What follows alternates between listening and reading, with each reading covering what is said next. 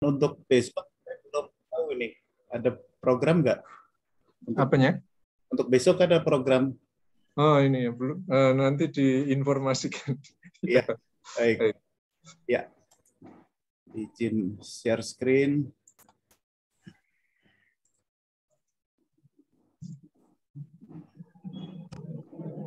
Baik, uh, selamat sore Ibu Bapak sekalian. Uh, sore ini saya berikan paparan sedikit tentang kebisingan di industri. Jadi kalau Pak Iwan nanti office dan industri, saya lebih ke industri. Dan ini bagian dari uh, satu sharing knowledge uh, eh, BKTF hampir satu tahun setengah yang lalu, tapi materinya sekarang saya tambah karena memang spesifik untuk noise. Dulu itu general aja industrial hygiene. Nah, mungkin mulai dengan industrial hygiene itu salah satu disiplin uh, ya ada sainsnya juga tapi ada artnya juga gitu ya. Jadi gabungan sains dan art yang digunakan yang uh, digunakan untuk mengantisipasi, mengenali, mengevaluasi dan mengendalikan di tempat kerja faktor-faktor lingkungan di tempat kerja atau juga dikenal sebagai stres stresor yang ada di tempat kerja yang bisa mengakibatkan sakit, gangguan kesehatan, atau juga kenyamanan, gangguan kenyamanan di antara pekerja atau juga masyarakat di lingkungan industri. Ini salah satu contoh aja saya putarkan nih di pemboran di pemboran minyak di lapangan. Jadi bayangkan orang yang baju merah ini terpapar pada tingkat kebisingan yang tinggi.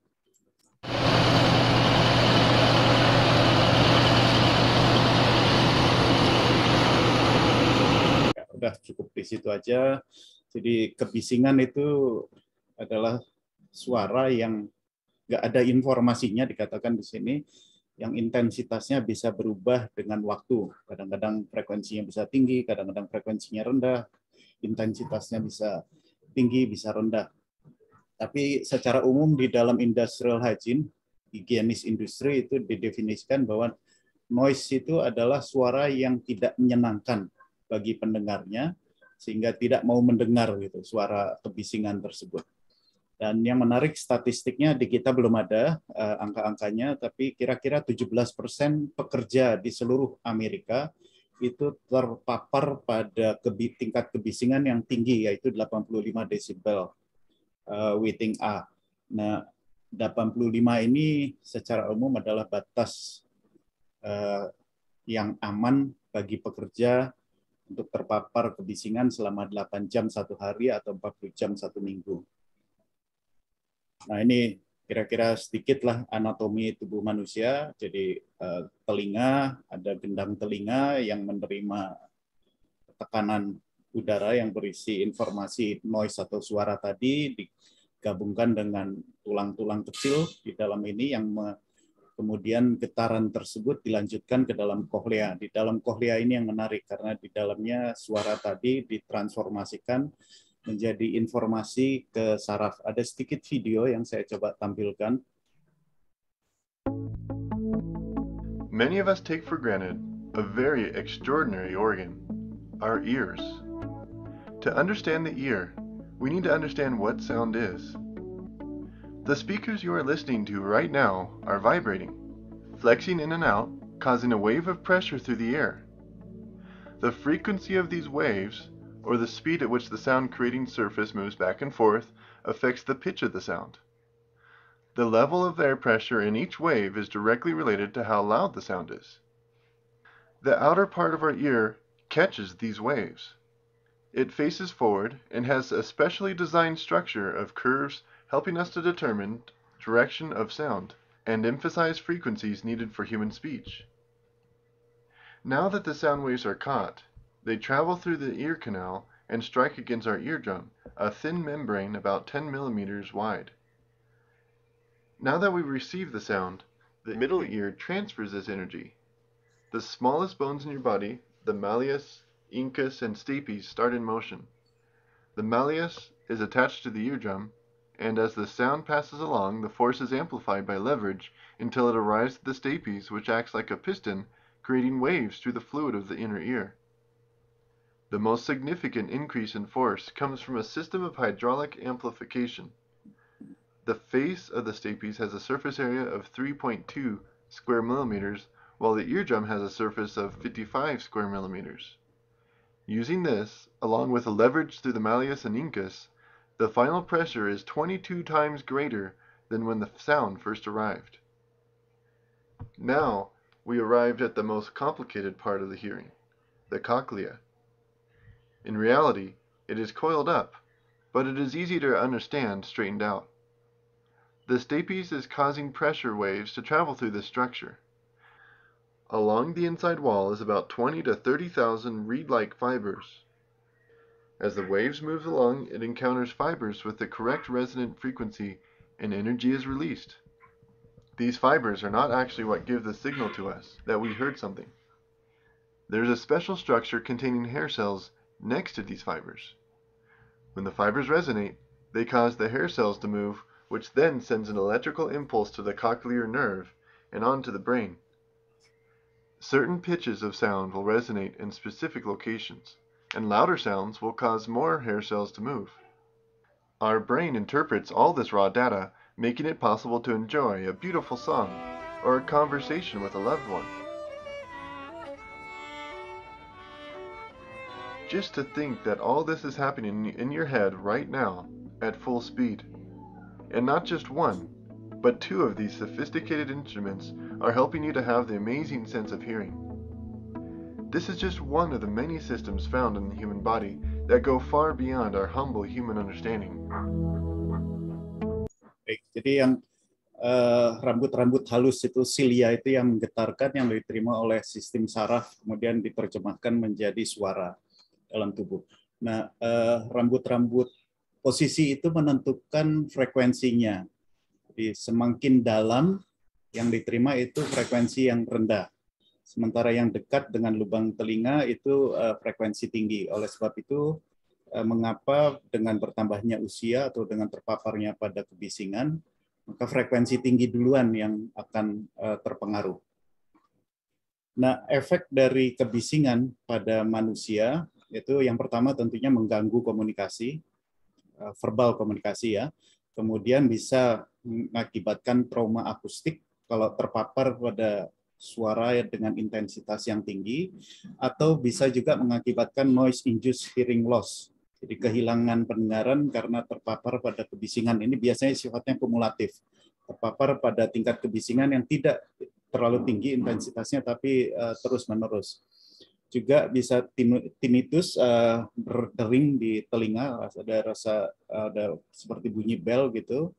Atau juga bisa hipertensi, menyebabkan darah tinggi, menyebabkan kecemasan, menyebabkan pusing, eh, menyebabkan restriksi di pembuluh darah, mengecil jadi pembuluh darahnya dan mengganggu sistem aliran darah dan jantung, juga mengganggu tidur, bisa mengganggu tidur. Dan ini terutama yang penting kalau misalnya bekerja di daerah-daerah yang terpencil atau di Eh, lepas pantai di mana pekerja juga harus menginap di situ dan kalau daerahnya bising tidurnya bisa terganggu maka esokan harinya badannya tidak fit dan juga bisa mengakibatkan kecelakaan. Eh, macam-macam sumbernya dari peralatan proses biasanya peralatan yang berputar rotating pipa dari aliran fluida yang mengalir di dalamnya atau exhaust uh, untuk gas-gas buang atau engine ya combustible internal combustible engine uh, safety valve flare dan sebagainya. Atau juga alat-alat yang menggunakan uh, tenaga energi jackhammer uh, macam-macam kayak gitu ya. Kemudian juga dari alat-alat berat traktor dan sebagainya itu ini batasannya dari tingkat tekanan udara kemudian dikonversi menjadi dBA Eh, dan eh, kira-kira jenis aktivitas atau sumber kebisingan yang bisa terjadi. 85 itu kira-kira ada di sekitar sinilah antara 80 sampai 90. Ini yang bisa dijadikan indikasi kalau di lapangan. Agak susah kalau setiap saat harus mengukur dengan sound level meter gitu ya. Jadi chart ini yang bisa digunakan. Kalau sudah kesulitan berkomunikasi dengan jarak tertentu pada eh, lawan bicara, maka itu sudah menunjukkan tingkat kebisingan. Jadi dalam hal misalnya kalau kita jaraknya ada 3 feet itu atau satu meter, ya, dan kita perlu terus-menerus berbicara dengan keras, Nah, itu maka tingkatnya sudah dekat dengan perbatasan 85 desibel itu. Jadi harus sudah mulai hati-hati, mulai waspada itu di sini. Sementara kalau tinggi sekali ya praktis sudah tidak bisa berkomunikasi. Eh, nah, yang penting di dalam menentukan tingkat bahaya atau tingkat risiko dari kebisingan adalah mengukur jadi probability-nya, kemungkinan seorang terpapar dan konsekuensinya. Eh, kemudian eh, kita bandingkan dengan standar atau kriteria yang berlaku. Pengukuran ada dua jenis, yaitu pengukuran tempat kerja atau pengukuran paparan bagi personal itu sendiri. Kalau eh, area itu dengan menggunakan sound level meter, kalau personal itu menggunakan noise dosimeter. Sangat penting sekali kalibrasi dari alat-alat ukur ini. Ini alat ukurnya. Selain itu juga personal dilakukan audiometri. Jadi di kita ke rumah sakit, medical check up, kita lakukan pengukuran respon telinga terhadap kebi, uh, suara yang ada. Uh, ini jumlah jam kerja yang diizinkan. Jadi kalau 85 desibel itu 8 jam. Kalau naik 3 desibel menjadi setengahnya, kemudian naik lagi menjadi setengahnya dan seterusnya. Ini yang disebut kenaikan 3 desibel. Kemudian ini audiogramnya. Ya, kalau shift-nya lebih dari 40 desibel, maka kita sebut threshold shift. Uh, hearing, hearing, ya bukan hearing loss, tapi hearing threshold shift. Gitu. Dan bisa temporary sifatnya, bisa juga permanen. Sebaiknya kalau sudah ada shift ini, uh, pergeseran ini, 40 desibel itu, maka sebaiknya dipindahkan tempat kerjanya. Kemudian kita amati lagi. Kalau memang terus-menerus terjadi shift 40 desibel, maka sebaiknya jangan diberikan kerja dengan tingkat kebisingan yang tinggi. Karena praktis dia sudah kehilangan pendengaran, sudah tidak sempurna lagi pendengarannya. Ini contoh noise dosimeter. Nah, eh, kontrolnya di lapangan ada beberapa cara yang diterapkan, mulai dari menghilangkan, kemudian mengganti, menerapkan kontrol rekayasa, menerapkan eh, administrasi, salah satunya memindahkan tempat kerja ke tempat yang kurang bising itu secara administrasi, dan yang terakhir adalah alat pelindung diri yang berupa biasanya earmuff di, untuk tutup telinga atau sumbat telinga masuk ke dalam telinga. Ya. Dan secara umum mungkin nanti Pak Iwan menjelaskan lagi lebih lanjut. Tentunya yang paling baik adalah kita isolasi mulai dari sumbernya dengan maintenance peralatan yang baik, pemilihan proses parameter yang baik, atau menempatkan di dalam box, di dalam enclosure gitu, sehingga sumbernya tidak keluar. Sementara yang paling uh, minim proteksinya adalah menggunakan alat pelindung diri. Kenapa? Kalau alat pelindung dirinya sudah tidak efektif, maka uh, pekerja langsung terpapar pada tingkat kebisingan yang tinggi. Uh, demikian dari saya, Pak Edi. Mungkin terima kasih. Terima kasih Pak Paul Wijaya atas penyampaian sistemnya eh, yang sangat terkait dengan eh, topik webinar hari ini. Eh, kita lanjutkan dengan acara pokok kita yang akan disampaikan oleh Pak Iwan Prasetyo. Waktu kami persilahkan Pak Iwan. Terima kasih. Terima kasih Pak Edi, Pak Paul atas pengantarnya. Jadi mohon izin untuk share screen Pak Edi. Iya, silakan Pak. Sudah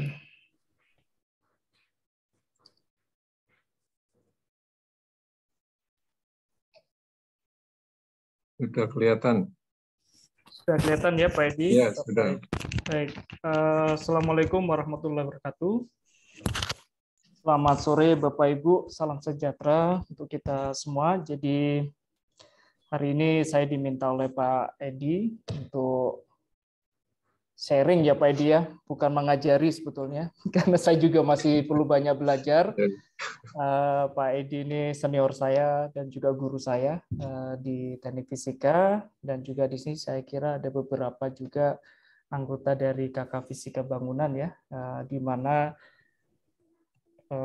bidang yang terkait dengan noise ataupun akustik itu banyak dikembangkan dan juga salah satu kelompok keahlian yang punya otoritas untuk merawat keilmuan tersebut begitu. Nah, sebelumnya mungkin saya perkenalkan, saya sendiri dosen di Teknik Fisika, Bapak Ibu, eh, dan saat ini bergabung seperti tadi di awal alaman eh, di kelompok keahlian fisika bangunan, meskipun eh, saya banyak secara penelitian begitu ya, banyak berbicara ataupun mengembangkan di sisi material akustik, kemudian persepsi. Di sisi yang lain saya juga mendevelop beberapa hal terkait dengan teknis eh, pengendalian bising di industri, lingkungan, dan juga saat ini mm, banyak berkaitan dengan eh, kendaraan atau vehicle ya secara umum. Saya juga banyak terlibat di berbagai proyek secara profesional. Nanti saya akan tunjukkan beberapa hal tersebut Eh, supaya Bapak Ibu ada bayangan kira-kira kalau kita menekuni atau bekerja di bidang akustik dan vibrasi itu apakah betul gitu ya di sisi engineering itu ada terutama di Indonesia. Nah, di kesempatan ini nanti saya akan banyak bicara juga berbagai regulasi yang sudah berlaku di negara kita. Tentu di secara regional ataupun internasional sudah cukup banyak dan lengkap ya tapi di negara kita di Indonesia ada beberapa yang juga sudah berlaku begitu. Tentu eh, ada satu dua hal mungkin saya tidak terupdate secara eh, regulasi-regulasi baru ya, terutama yang masuk ke bagian Undang-Undang Cipta Kerja, tapi sebagian besar seharusnya sudah terakomodasi dalam eh, regulasi-regulasi yang saya sampaikan. Saya juga salah satu co-founder dari Indo Akustik, salah satu acoustic consultant di Bandung, sehingga sebagian beberapa pekerjaan yang saya share atau saya sampaikan di forum ini juga merupakan proyek-proyek dari Indo Akustik maupun dari lab. Oke. Waktu saya sampai berapa menit Pak Edi? Nanti mohon diingatkan kalau terlalu oh, panjang ya. ya. Ya, sepertinya cukup ini, Pak. ya.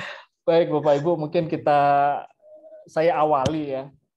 Kalau saya menghadapi dua hal yang yang tidak populer mungkin ya. Yang pertama itu uh, terkait dengan teknik fisika sendiri, saya sering kali uh, apa namanya uh, mencoba untuk membangun uh, knowledge uh, masyarakat Indonesia terkait dengan teknik fisika itu sendiri. Dan terima kasih kepada Pak Edi dan tim yang sudah sudah banyak uh, mengkomunikasikan apa itu teknik fisika ke masyarakat umum, termasuk juga adanya sharing session semacam ini ya melalui PKTF.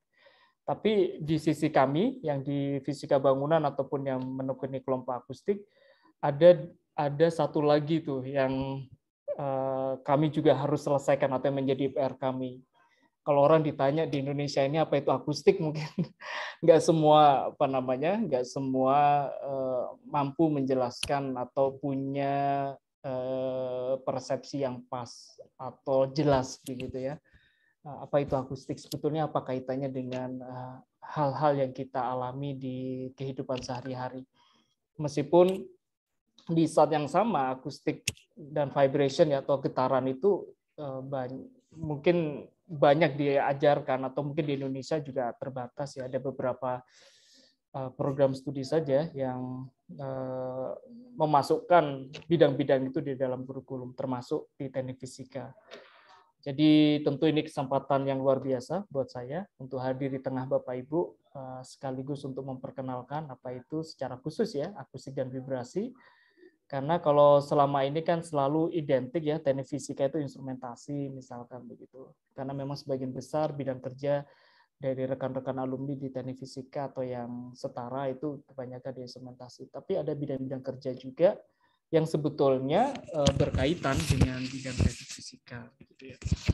Salah satunya adalah akustik dan vibrasi. Nah, kalau kita lihat secara luas, betulnya ini adalah bagian eh, akar atau bidang-bidang yang berkembang berlandaskan eh, teknik bukan teknik fisika, maksud saya akustik begitu ya saya coba pakai laser pointer begitu. Seperti Bapak Ibu lihat di sini tuh ada akustik.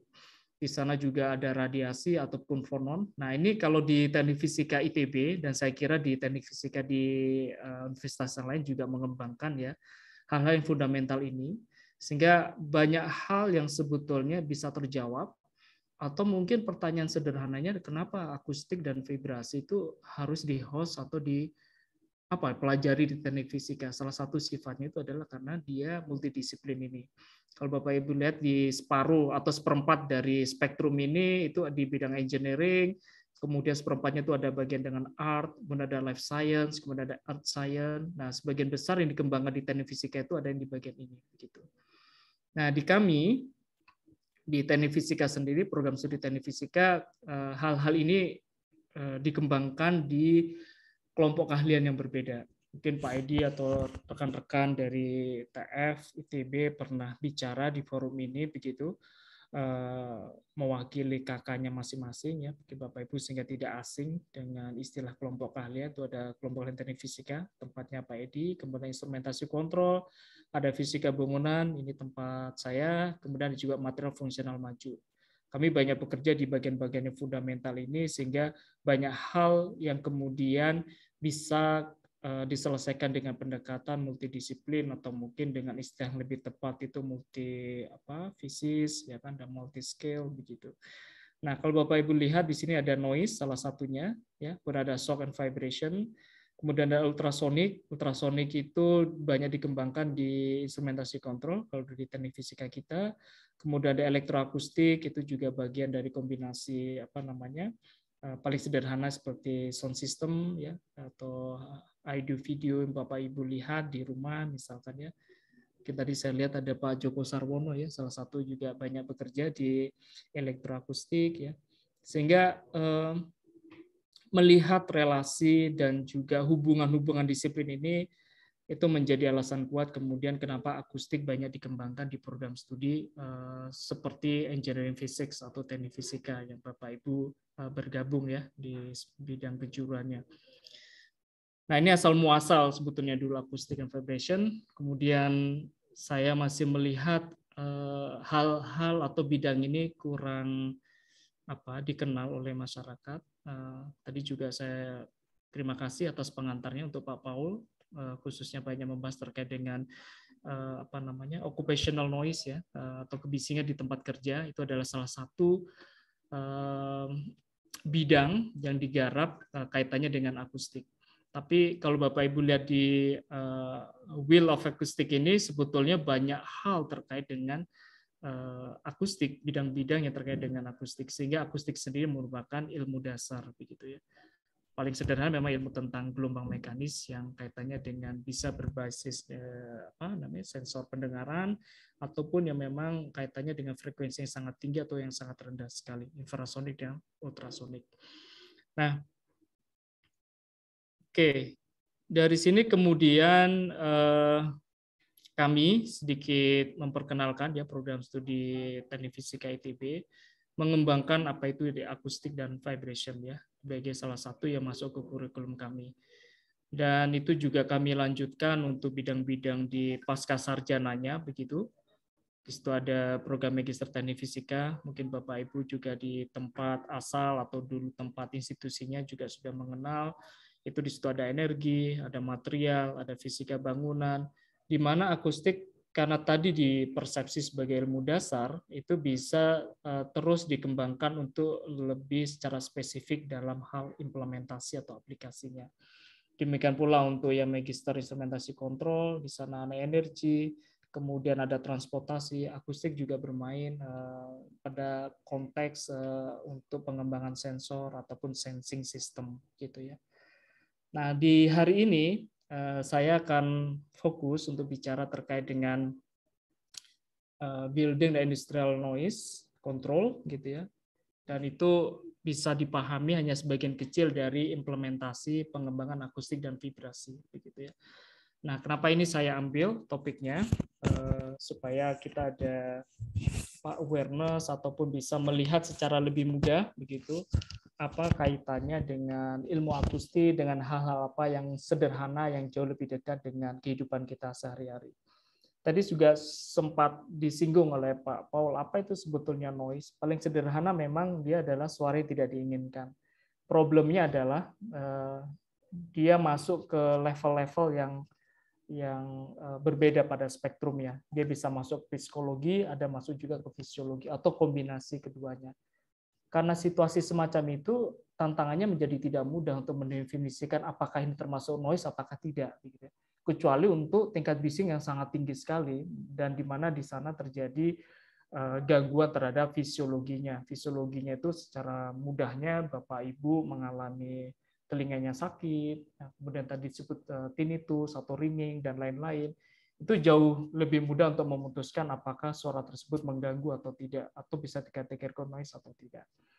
Nah, untuk itu nanti saya akan masuk ke uh, environmental noise terlebih dahulu sebelum ke exposure uh, noise supaya Bapak Ibu ada bayangan kenapa kemudian istilah kebisingan ini uh, tidak mudah atau tidak memasyarakat secara luas begitu khususnya di wilayah Indonesia. Nah, karena itu memang tantangannya adalah bagaimana mengumpulkan pemahaman dan kesepakatan apa dampak dari kebisingan ini, gitu. Yang sebetulnya sudah lama dikaji, bahkan sebelum Perang Dunia Pertama sudah banyak kajian terkait dengan kebisingan ini, tapi memang perkembangannya atau awareness eh, masyarakat Indonesia terhadap kebisingan ini eh, secara progres tidak secepat di negara-negara sekitar. Ambil contoh Malaysia, Singapura, bahkan ke Thailand itu sudah banyak eh, apa namanya noise monitoring di kota-kota besarnya untuk memastikan bahwa impact dari noise itu seminimal mungkin. Nah tentu eh, contoh paling gampang karena Bapak Ibu kan nggak semuanya eh, ada di industri seperti yang tadi dicontohkan oleh Pak Paul karena di industri hal itu sudah menjadi salah satu standar dan salah satu ukuran apakah workplace-nya itu memenuhi syarat terkait dengan hygiene atau tidak sebut saja sekarang environmental noise ya. Nah, kalau di secara definisi tentu hal tersebut terkait dengan uh, kesehatan manusia dan juga kualitas uh, hidup begitu.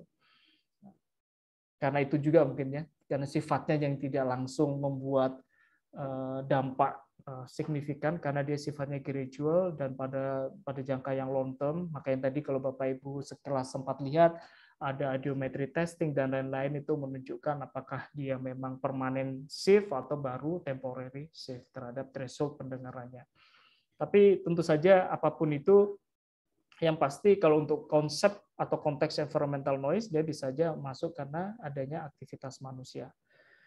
Nah, saya agak sedikit percepat uh, untuk karena target saya dalam bagaimana me menyampaikan hal-hal yang lebih kompleks dari uh, situasi yang kita hadapi. Kenapa ada gap antara keilmuan akustik, kemudian uh, bisingnya sudah existing, tapi di saat yang sama juga kesepakatan kita sebagai suatu komunitas ataupun sebagai masyarakat itu terhadap bising bisa berbeda-beda begitu ya. Nah ini salah satu contoh kenapa kemudian uh, noise itu menjadi suatu isu yang kompleks. Contohnya adalah environmental noise di mana perlu mendapatkan masukan, perspektif, konvensi yang sama antar berbagai uh, ahli, acoustician, environmental scientist, ada epidemiologis, ada planner, ada policy makers. Nah, sebetulnya ini yang kemudian belum terintegrasi atau belum terkoneksi dengan baik uh, uh, pihak-pihak ini khususnya di kasus Indonesia. Di tempat negara-negara lain uh, sangat apa progresif untuk hal tersebut karena problemnya adalah eh, dengan total eh, urbanisasi yang besar di negara kita, kemudian juga jumlah penduduk yang besar, memang memerlukan suatu komitmen dan dan suatu apa target-target yang lebih jelas untuk menghandling atau untuk dealing dengan isu-isu terkait dengan noise. Ya. Oke, kalau kita ingin tahu mengenai dampak kebisingan, paling mudah memang kembali lagi ke definisi dasar yang dikeluarkan oleh WHO. WHO sendiri sebetulnya secara secara khusus menyampaikan bahwa ada beberapa hubungan atau yang disebut sebagai health outcomes ya yang wajib dipenuhi ya, sebagai upaya untuk bagaimana bahwa noise itu kemudian tidak menimbulkan dampak-dampak yang saya sampaikan ini. Ada agak apa namanya ada annoyance, kemudian ternyata noise itu ada hubungannya juga cardiovascular metabolis, kemudian cognitive impairment, Ini mungkin kalau nggak dipahami dengan baik atau kita semua tidak uh, menyadari dengan awal, mungkin menganggap enteng keberadaan noise. Sementara kalau Bapak Ibu lihat, kebisingan makin lama, khususnya di ibu kota atau kota-kota besar, itu makin tinggi karena problem urbanisasi. Kemudian gangguan tidur, benar tadi salah satu ada hearing impairment atau tinnitus, kemudian bird outcome, adverse bird outcome itu juga bermasalah. Dan yang paling penting adalah terkait dengan kualitas hidup dan kesehatan mental ataupun uh, kesegaran jasmani. Nah, problem-problem nomor 1 sampai dengan 7 itu ada kaitannya dengan noise.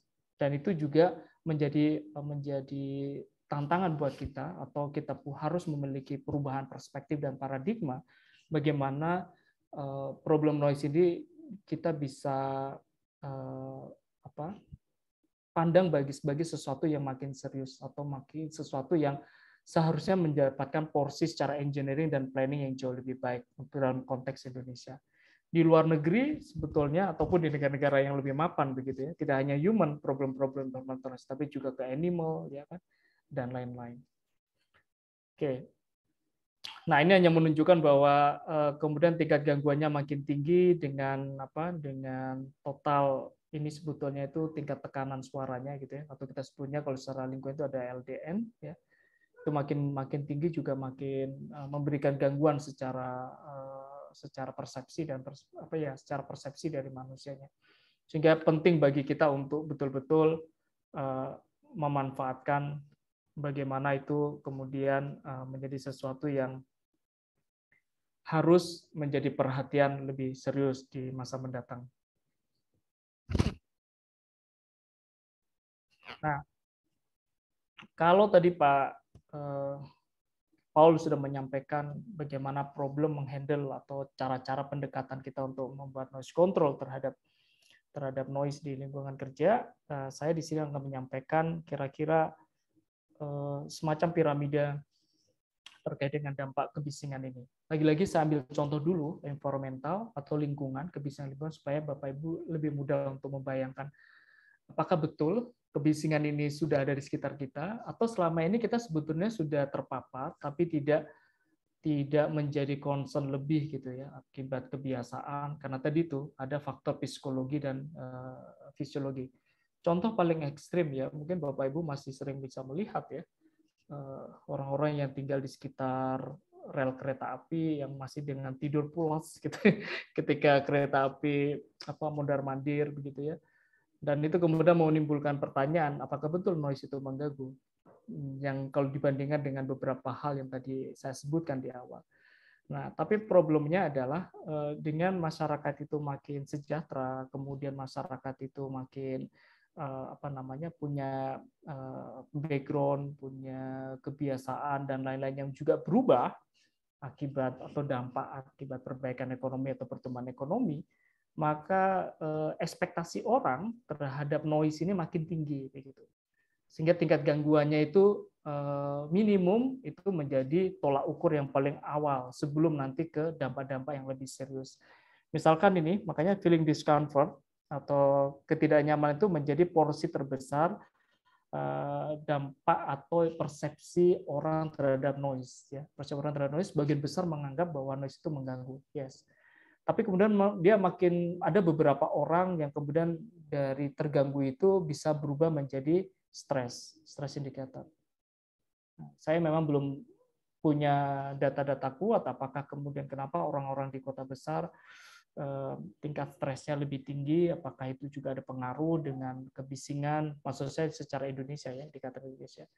Nah, ketika mereka masuk ke apa public transport ataupun menggunakan mobil pribadi menghadapi macet kebisingan yang jauh lebih tinggi karena traffic noise yang makin tinggi akibat volume kendaraan yang makin banyak apakah itu juga apa namanya menjadi salah satu faktor penyebab tingginya stress indicator bahkan ada beberapa yang masuk ke resiko-resiko tertentu misalkan darah tinggi dan lain-lain Sementara sampai mortality tentu jumlahnya makin kecil secara dibandingkan dengan total orang yang eh, mengalami gangguan ataupun ter situasi yang tidak menyenangkan begitu ya.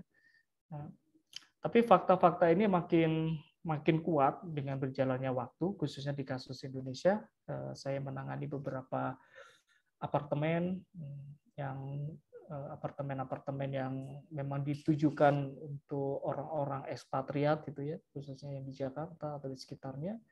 Itu eh, tingkat ekspektasi terhadap bising lingkungan dan di rumah mereka atau di hunian mereka itu makin makin sensitif begitu. Nah, itu di salah satu apa namanya salah satu penghuni itu sampai memunculkan uh, kenaikan stres dari si penghuninya. Dan itu mungkin tidak banyak atau menjadi pengalaman baru bagi building management gitu ya. Yang sebelumnya itu dianggap biasa di tempat-tempat lain dengan uh, penghuni karakteristik yang berbeda tapi ternyata itu tidak berlaku untuk di uh, tempat bangunan yang mereka kelola. Itu contoh real. Dan itu tidak menutup kemungkinan dengan pertumbuhan uh, kota yang dia tidak tidak lagi metropolitan tapi menjadi megapolitan dan lain-lain di mana orang bisa datang dan pergi dari berbagai negara dengan apa dengan kultur yang berbeda-beda. Kemudian uh, masyarakat kita juga ekonominya membaik. Nah sehingga kemudian kenyamanan itu menjadi hal-hal uh, yang dulu tidak menjadi prioritas kemudian sekarang prioritasnya menjadi naik Nah, ini kemudian perlu pendekatan-pendekatan yang harus uh, secara engineering, secara teknikal uh, bisa diselesaikan.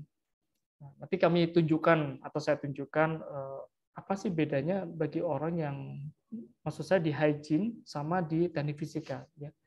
Karena di teknik fisika wajib memahami yang hygiene yang tadi disampaikan oleh Pak Paul, tapi di sisi yang lain harus bisa mensolving problem engineeringnya mungkin itu sebagai apa namanya spillnya. Tapi bagaimana bentuknya nanti saya tunjukkan.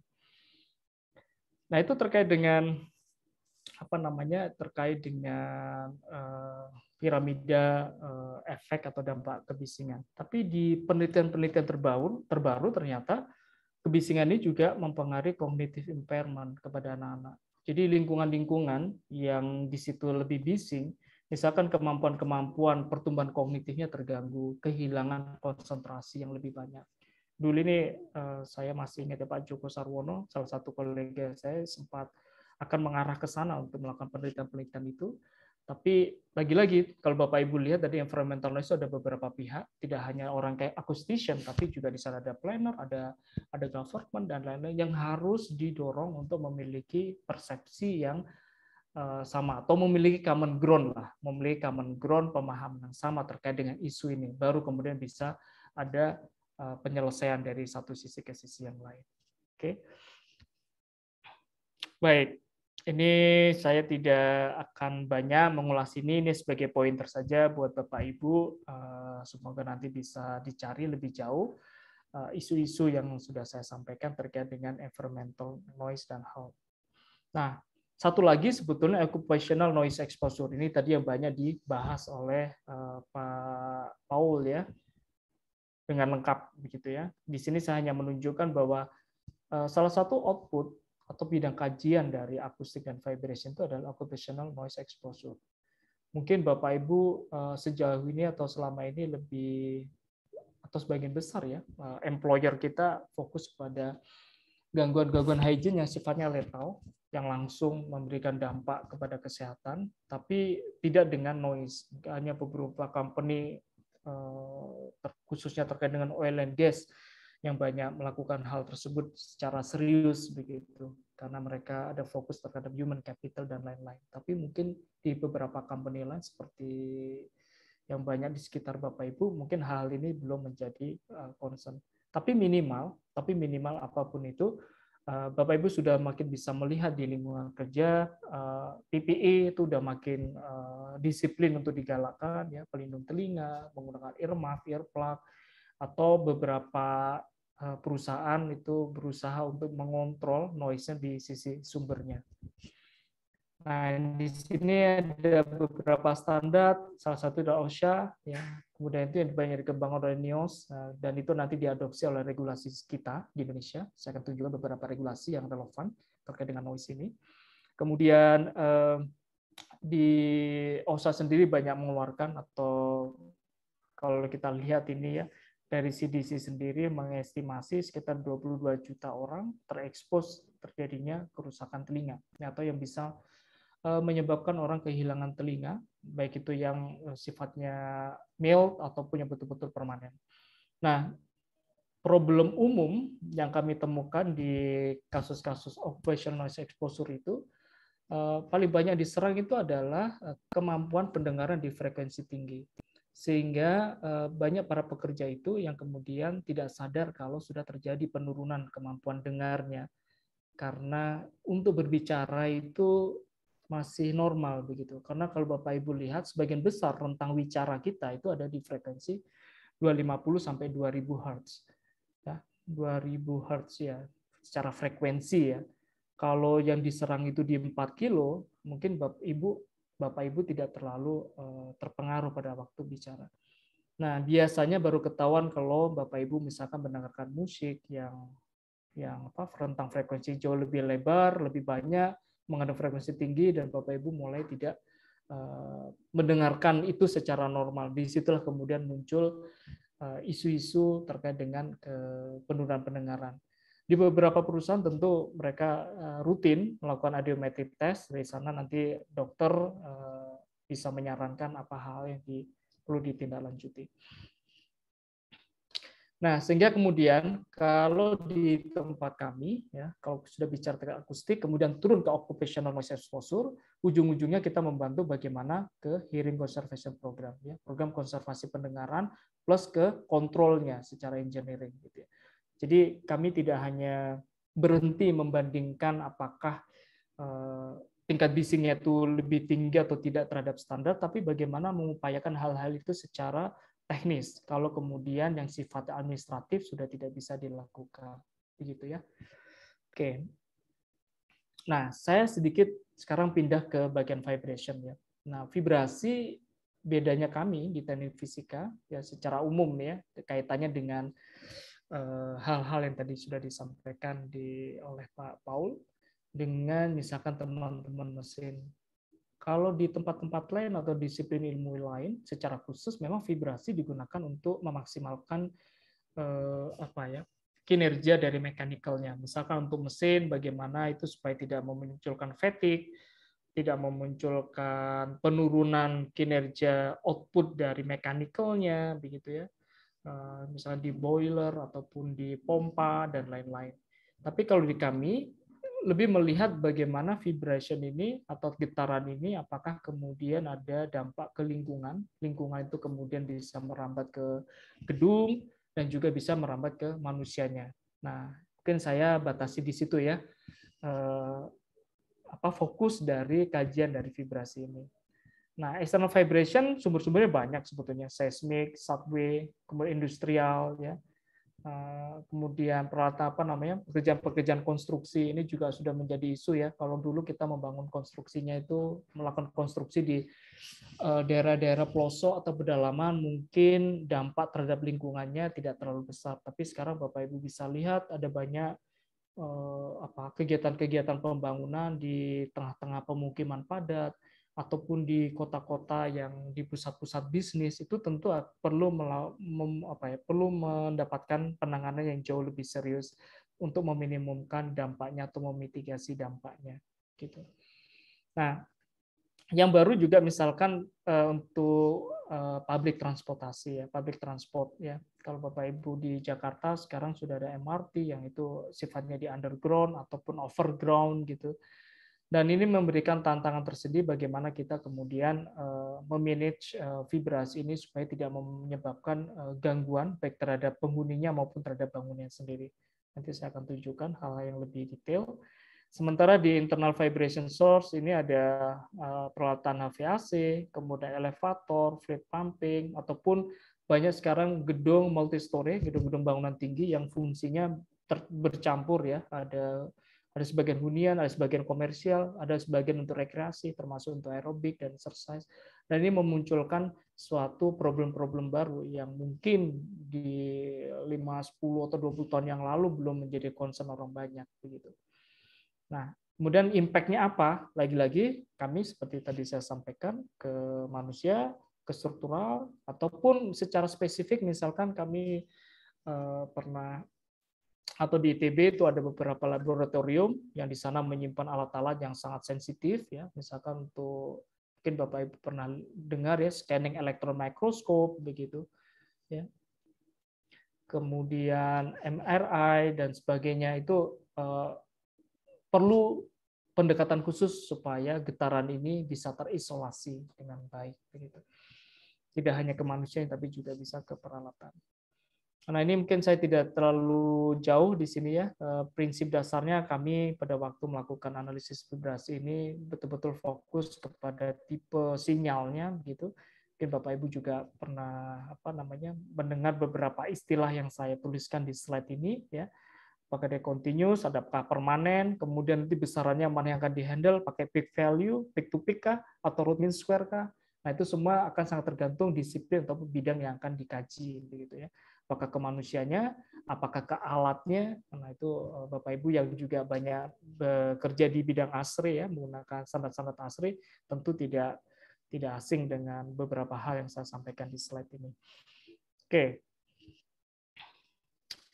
Nah, kira-kira ini ilustrasi dasar bagaimana kemudian vibration itu menjadi kajian di tempat kami supaya uh, untuk ada beberapa kasus eh, situasi-situasi yang ada di gambar ini sering kali kita temukan. Apalagi kalau Bapak Ibu sekarang pernah mendengar istilah TOD ya Transit Oriented Development di mana public transport dengan hunian itu didekatkan dengan area komersial itu menjadi satu kawasan sehingga orang didorong untuk banyak menggunakan public transport alih-alih harus menggunakan mobil pribadi atau kendaraan-kendaraan pribadi Nah, di zaman dulu eh, bagian-bagian ini zonanya dipisah begitu Nah, sekarang malah digabung. Nah, ini juga memberikan tantangan tersendiri bagi eh, engineering di dalam bagaimana mengontrol atau memitigasi hal-hal ini. Ya. Oke. Nah, di environmental impact-nya itu secara umum yang dikaji di dalam regulasi-regulasi itu adalah ke human perception-nya kan, ke image. Jadi kalau tadi Bapak Ibu bisa mengetahui bahwa noise itu juga menimbulkan annoyance, gangguan, Sebetulnya vibration juga demikian. Nah, hanya memang eh, case-case yang banyak kita tangani itu lebih banyak ke noise gitu ya. Ke vibration ini kalau untuk building eh, teman-teman di sipil sudah banyak punya teknik-teknik khusus gitu ya. Kecuali memang struktur itu sejak awal tidak mempertimbangkan eh, apa namanya human vibration sebagai salah satu ukuran atau indikator dari desain itu biasanya miss gitu tapi sebagian besar Eh, sudah terpenuhi dengan baik. Oke, nah saya, nah ini mungkin gambaran sedikit di kami untuk melihat bagaimana kemudian uh, vibration itu bisa kita kontrol. Kita juga perlu memiliki pemahaman yang baik dengan tipe-tipe gelombangnya. Kemudian bagaimana melakukan kalkulasi tersebut sehingga kita dengan uh, mudah mendeteksi kira-kira frekuensi berapa yang bermasalah dari sisi vibrasi itu. Kemudian bagaimana develop uh, vibration isolatornya ya. Di sumbernya ataupun di padnya ya ataupun di receivernya. Di pad itu misalkan coba ini ya misal kita berikan trend semacam ini adalah teknik-teknik umum yang kita lakukan untuk uh, memitigasi terjadinya propagasi misalkan dari sini dari apa namanya public transport paling banyak itu adalah railway kereta api.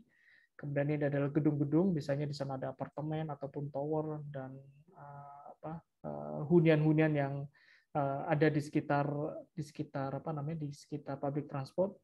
Mungkin bapak ibu juga sering aware ya kalau di Indonesia itu kan kalau punya rumah dekat dengan amenity. Amenity apa ya? Sumber-sumber fasilitas atau fitur terkait dengan kehidupan manusia misalkan ada dekat dengan rumah sakit, dekat dengan jalan tol, dekat dengan rel kereta api, bandara itu harga rumahnya lebih mahal. Padahal secara quality life-nya kalau dia tidak dikontrol itu sebetulnya uh, mengalami penurunan gitu. Hidup di desa itu harusnya jauh lebih mahal, tapi di negara kita terbalik situasinya. Ya. Jadi harga properti jauh lebih mahal kalau dekat-dekat dengan area-area yang tersebut.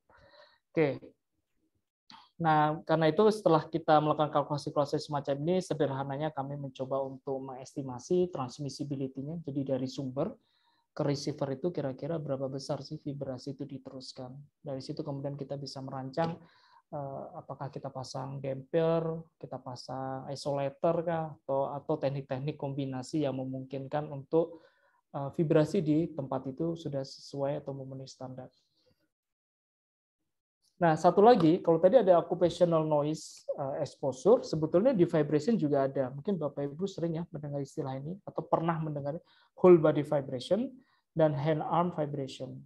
Whole body vibration persis seperti yang terjadi di gedung tadi ataupun di tempat kerja. Kalau itu kemudian berdekatan dengan sumber-sumber vibrasi, apakah itu mechanical, apakah itu ada pile driving dan lain-lain yang lalu merambat ke seluruh tubuh sehingga tubuh kemudian mendapatkan eksposur atau paparan vibrasi yang yang berlebihan yang kemudian bisa memunculkan secara efek psikologi ataupun masuk ke ke disease atau ke penyakit gitu ya, ke sakit maksud saya. Sementara kalau hand arm ini sebetulnya lebih banyak penggunaan mechanical tool gitu ya, yang alat-alat yang Bapak Ibu pakai ya pakai itu eh, apa namanya eh, untuk gerinda dan lain-lain begitu itu sebetulnya juga harus ada eh, monitoringnya atau observasinya supaya bisa terukur betul berapa besar nilai vibrasi yang sudah terekspos atau terpapar ke Bapak Ibu. Nah, hal yang semacam inilah yang juga masih belum menjadi target dalam keselamatan kerja begitu sehingga uh, ada aja kasus-kasus yang kemudian terlewat. Padahal ini secara long term lagi-lagi Bapak Ibu di akustik dan vibrasi kaitannya dengan apa yang tadi saya bicarakan kepada life quality. Ya. Nah sekarang saya ingin tunjukkan uh, kalau memang itu diatur, bagaimana aturan-aturan itu sudah berkembang di Indonesia. Nah ini saya rangkumkan ya Bapak Ibu uh, regulasi lokal saya tidak bicara eh, apa, eh, regulasi regional ataupun internasional, karena tentu hal itu sudah jauh lebih lengkap, eh, baik itu untuk apa ya kita sebenarnya sebagai code ya, apakah itu building code, apakah itu environmental code, atau juga occupational code itu sudah sudah sangat berkembang sangat banyak. Tapi di Indonesia meskipun tidak selengkap di daerah, maksud saya di negara-negara lain, tapi hal-hal yang sudah tercatat itu misalkan Baku tingkat kebisingan ini dikeluarkan oleh Kementerian Lingkungan Hidup. Itu tahun 48, 96. Kemudian baku tingkat getarannya itu sama, tapi nomornya 496. Nah, kalau tidak salah ini nanti akan dilebur masuk ke Undang-Undang Cipta Kerja, tapi saya belum tahu bagaimana perkembangannya. Kemudian hal yang sama juga diatur oleh Kementerian Kesehatan, tapi mereka lebih fokus untuk yang nomor 7 ini, ke kesehatan lingkungan rumah sakitnya. Misalkan dalam satu ruang tertentu itu eh, bising latarnya berapa yang maksimum yang yang diperbolehkan. Nah, ini juga di fisika bangunan juga dibahas dan diteliti jauh dan sudah beberapa kali mengambil apa istilahnya mengambil data-data lapangan begitu ya. Nah, untuk hal yang terkait yang dua ini tetapi terkait dengan kesehatan lingkungan persis seperti yang di, tadi yang disampaikan oleh Pak Paul itu malah diaturnya di secara lebih lengkap ya. Kalau saya baca aturannya itu di Kementerian Kementerian Kesehatan itu nomor 70 tahun 2016. Ya. Versi langsungnya itu diatur di Menteri Ketenagakerjaan nomor 5 tahun 2018. Tapi tidak selengkap yang di Kementerian Kesehatan. Ya. Tapi dua-duanya mengatur hal yang serupa, hanya detailnya saja yang berbeda. Nah, di luar dari aturan-aturan kementerian itu ada juga standar nasional, itu terkait dengan pengurangan tingkat kebisingan lingkungan. Jadi kalau Bapak Ibu ingin melakukan assessment atau pengurangan terkait dengan yang nomor 48 ini, metode pengukurannya ada di SNI 8427. Sementara untuk eh, apa namanya kualitas akustik di dalam ruangan itu juga diatur di SNI ini 6386. Itu tapi masih terbatas ke spesies tingkat bunyi atau bising latar dan waktu dengung dalam gedung. Ini mungkin bisa Eh, apa berkorelasi dengan yang kesehatan nomor 7. Nah, ini menunjukkan bahwa pada prakteknya sebetulnya eh, persoalan-persoalan untuk isu kebisingan getaran itu sudah menjadi concern di level nasional atau negara. Hanya memang tidak lengkap ya. Sehingga kemudian di dalam pelaksanaannya ada yang sudah dilaksanakan secara lengkap apa secara eh, lengkap atau komplit tapi ada juga yang tidak dilakukan karena ada mengandung kesalahan-kesalahan ataupun kerumitan atau kesulitan begitu akibat aturannya tidak detail. Jadi ada berkahnya juga aturan tidak detail itu ya. Tidak dilakukan karena sulit untuk dilakukan kan petunjuk secara metodologinya kurang lengkap gitu. Nah, meskipun apa pun situasi ini sebetulnya concern kita seharusnya tetap bahwa baik noise baik maupun vibration ini tetap memberikan dampak dalam kehidupan kita. Tidak hanya pada generasi yang sudah masuk usia produktif, tapi juga generasi lanjutnya, generasi mudanya, begitu. Sehingga ini harusnya menjadi sesuatu upaya bersama untuk bisa uh, uh, apa ya memperbaiki uh, situasinya sehingga kita persis mendapatkan kualitas hidup yang seharusnya sesuai dengan apa yang WHO inginkan.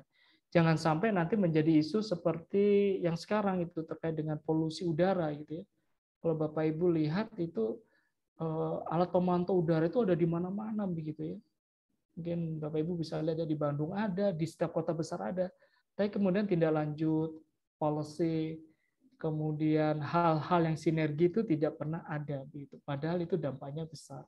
Boleh jadi penurunan kualitas eh,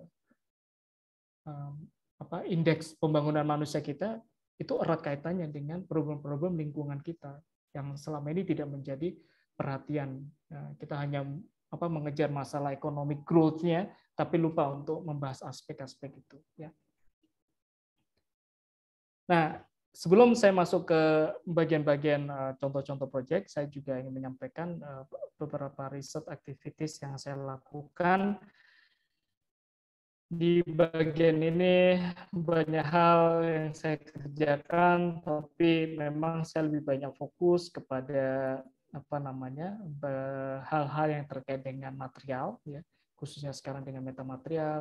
Untuk bagian environmental noise itu kami lebih banyak untuk bicara bagaimana melakukan identifikasi secara otomatis komposisi sumber bising apa yang terjadi di lingkungan itu dengan machine learning dan sebagainya. Kemudian kita juga uh, fokus bagaimana uh, turut serta untuk berkontribusi ke sustainability melalui green building, tetapi secara spesifik kami bicara terkait dengan green akustik, bagaimana memanfaatkan ventilasi alami, tapi kedap suara, kemudian bagaimana menggunakan vegetasi yang itu kemudian bisa berfungsi sebagai absorpsi suara maupun sebagai insulasi suara dan lain-lain. Dan kalau Bapak Ibu lihat di sini ini adalah output-output penelitian yang kami lakukan. Dan perlu dicatat memang eh, fokus penelitian kami itu ada di dasar ya, di basic ya. Jadi kalau di TRL-nya itu di 1 sampai 4 Nah, itu memang untuk untuk mengantisipasi perkembangan-perkembangan 5-10 tahun berikutnya. Tidak langsung bisa uh, diimplementasikan di saat ini begitu. Jadi apa yang kami lakukan, apa yang kami implementasikan saat ini uh, dari proyek-proyek nanti yang saya tunjukkan itu sebetulnya kajian dan pengembangan teknologinya sudah 10-20 tahun yang lalu atau bahkan beberapa sudah 30 tahun yang lalu tapi kami masih gunakan karena secara visibilitas engineeringnya masih uh, masih terpenuhi begitu ya. Nah, bagi Bapak Ibu yang ingin tertarik mengenai diskusi lebih lanjut terkait ini, kami persilakan untuk datang eh, di ITB ya mungkin bisa menghubungi Pak Edi atau saya atau rekan-rekan yang di sini. Saya lihat tadi ada juga ada Pak Diogo.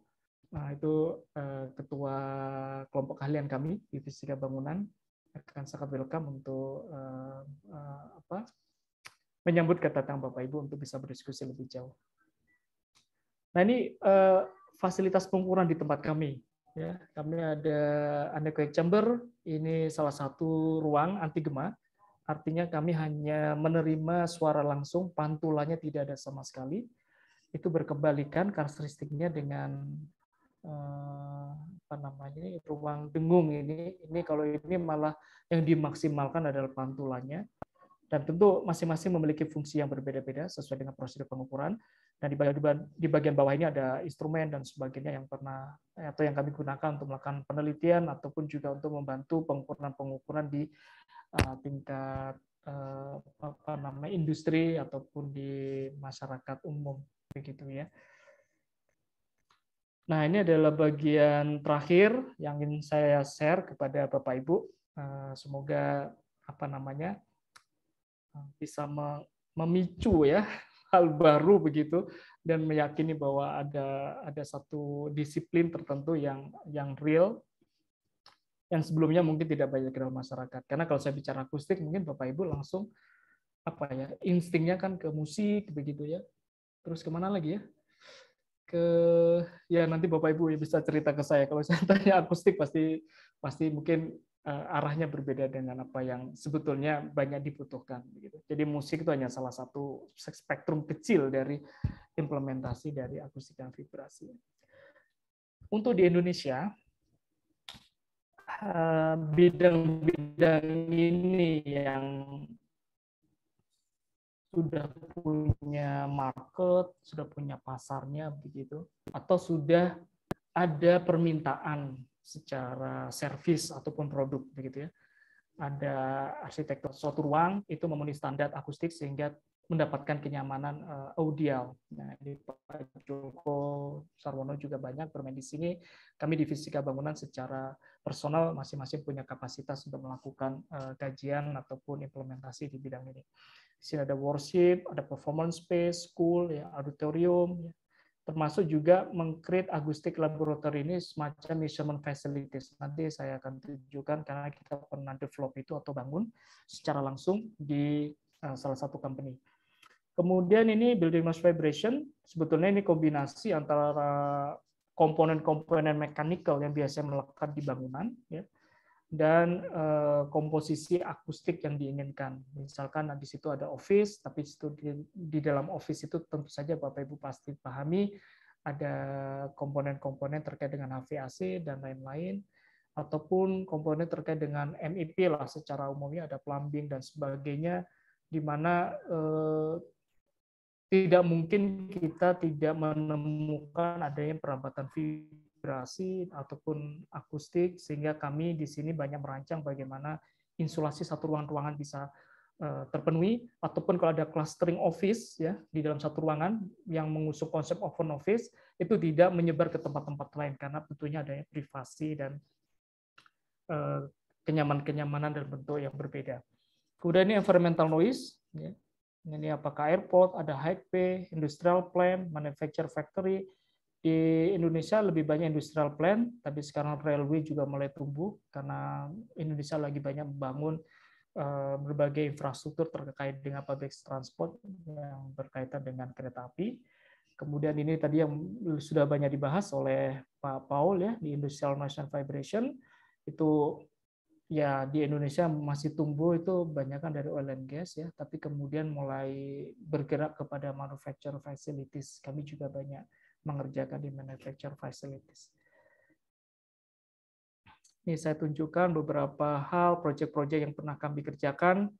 Ini kaitannya dengan isu-isu terkait kebisingan dari kereta api. Kami diminta oleh salah satu operator yang ada di Indonesia untuk eh, melakukan assessment lebih jauh terkait dengan kualitas gerbong dari sisi vibrasi maupun measurement karena itu adalah bagian dari eh, indikator kenyamanan yang ingin mereka penuhi begitu. Nah ini waktu itu kami kerjasama juga dengan eh, dengan pihak lain, tapi dikoordinasi oleh lab gitu sehingga kami melakukan pengukuran yang melibatkan vibrasi dan akustik ya prosesnya semacam ini kami install banyak instrumen, kemudian di hasilnya kami analisis uh, untuk dilihat apakah komponen-komponen frekuensinya yang selama ini dikeluhkan uh, berdasarkan survei dari persepsi itu uh, berkorelasi atau tidak. Kemudian ini pembangunan salah satu ruang pengukuran yaitu menggunakan untuk bisa comply dengan ISO 3744. Ini alhamdulillah di semua timnya itu dari teknik fisika waktu itu. Jadi orang mekanikalnya teknik fisika, akustiknya teknik fisika, saya sebagai lead engineer untuk membuat suatu apa namanya eh, parameter dan basic design. Eh, sehingga ini salah satu yang pure eh, di develop oleh orang lokal. Dan kami melakukan apa namanya testing untuk melihat atau melakukan kualifikasi ruang dan ISO 3744-nya terpenuhi di tempat kami tadi yang Aneko itu ISO 3745 memang range-nya lebih tinggi lagi tapi untuk kebutuhan engineering yang ISO 3744 ini sudah eh, memenuhi kebutuhan atau requirement. ini uh, salah satu proyek yang kami jalankan. Ini emblem, ini kaitannya dengan uh, environmental noise. Jadi kami di proyek ini melakukan analisis lingkungan dan juga mengimplementasikan noise control. Sekarang lagi on progress, bagaimana menghandle uh, bagian silonya supaya noise-nya tidak merambat ke daerah-daerah lainnya karena ada komplain uh, di sekitar kawasan industrinya. Jadi kalau alat ukur dan lain-lain bapak-bapak bapak ibu yang mungkin pernah atau berlatar belakang dari teknik fisika mungkin ataupun teknik lingkungan ataupun dari hygiene tentu tidak tidak apa ya tidak asing ya ini sebagai sound level meter dan pengukuran semacam ini perlu kami lakukan selama 24 jam sesuai dengan standar yang berlaku yang tadi KPNH nomor 48 ya. Nah, sehingga kalau Bapak Ibu lihat ini kok sampai siang, sore, malam, dan seterusnya itu memang dilakukan. Kemudian kami desain, eh, dan detail desainnya juga ada di kami untuk foreconnya ya, for construction-nya. Ini kami juga membuat desain, ini salah satu genset, ya, sangat dekat dengan lingkungan, dan ini selalu problematik Bapak Ibu, eh, di mana kawasan-kawasan yang industri itu yang umumnya atau idealnya harusnya ada buffer zone, tapi karena problem tata luan, eh, tata guna lahan dan lain-lain selalu berdampingan secara ekstrim dengan apa dengan dengan uh, uh, kawasan tinggal begitu ya. Sehingga untuk melakukan desain ataupun mungkin sebelumnya oleh aplikatornya itu dianggap cukup bahwa bisinya tidak akan merambat ke mana-mana pada jarak tertentu, tapi karena masyarakatnya juga mendekat, hal itu kemudian tidak terpenuhi sehingga perlu dievaluasi ulang, kemudian didesain ulang supaya uh, tingkat gangguan terhadap masyarakat itu uh, masih bisa terpenuhi sebagaimana undang-undang ataupun aturan kementerian yang yang yang yang yang sudah di state di dalam negara kita. Kemudian ini kami mengerjakan salah satu kantor Google. Ini kami dapat Project ini langsung dari Singapura, tapi melalui hub hubnya di Singapura, tapi kami dapatkan eh, apa namanya eh, appointment untuk mendesain secara khusus di bagian akustiknya, dan kami bekerja secara multinasional ini, eh, dan salah satu proyek yang sangat efektif, kami kami bekerjanya secara online Eh, mensubmit dan mendesain eh, itu semua dikerjakan dalam hal apa dalam artian secara online semua. Jadi kolaborasi yang dulu kita bayangkan harus ketemu di lapangan, ketemu di apa namanya, ketemu di pertemuan-pertemuan rutin di ternyata nggak harus selalu begitu engineering sekarang dengan berbagai platform teknologi sangat memudahkan kita untuk bisa bekerja dari arah mana pun yang dulu mungkin Bapak Ibu berpikir bahwa itu hanya bisa dilakukan untuk software engineer dan lain ternyata tidak Eh, sekarang banyak banyak platform yang memungkinkan itu bisa kolaborasi bisa dilakukan secara lebih efektif. Dan ini untuk mengejar salah satu uh, sertifikat LEED, ya itu salah satu sertifikat green building yang dikeluarkan oleh Amerika. Dan kami fokus untuk bagian akustiknya. Nah, Bapak Ibu bisa lihat semakin banyak building codes yang diacu sebetulnya bidang akustik itu uh, kebutuhannya besar begitu ya. Hanya untuk kasus Indonesia itu memang aturannya masih terbatas atau code-code yang itu yang yang perlu dipenuhi itu masih terbatas. Yang mungkin nanti ke depan semoga itu makin makin berkembang begitu ya karena targetnya memang ke human. Ini Tokopedia kami uh, uh, fokus di office dan salah satu auditoriumnya sangat terbatas. Kemudian kami uh, memaksimalkan bagaimana suara dari depan ini bisa terdistribusi dengan sangat baik di seluruh area sementara tidak boleh mengganggu office atau kantor yang di sebelah-sebelahnya. Kantor sebelahnya sebenarnya kantor-kantor kubikel yang mereka miliki sendiri, tapi kadang-kadang mereka di saat yang sama melakukan event-event yang melibatkan banyak orang di ruangan ini. Nah, itu tantangan-tantangan yang harus kami hadapi supaya desain, supervisi, dan juga implementasinya sesuai dengan target yang kami uh, sudah rancang sejak awal. Dan ini terakhir, ini kaitannya dengan yang tadi yang Pak Paul sampaikan, kami juga melakukan beberapa asesmen uh, kebisingan di area-area industri. Nah, umumnya memang teman-teman dari hygiene yang pertama kali akan melakukan ini, kami datang biasanya untuk keperluan uh, mendevelop noise control-nya.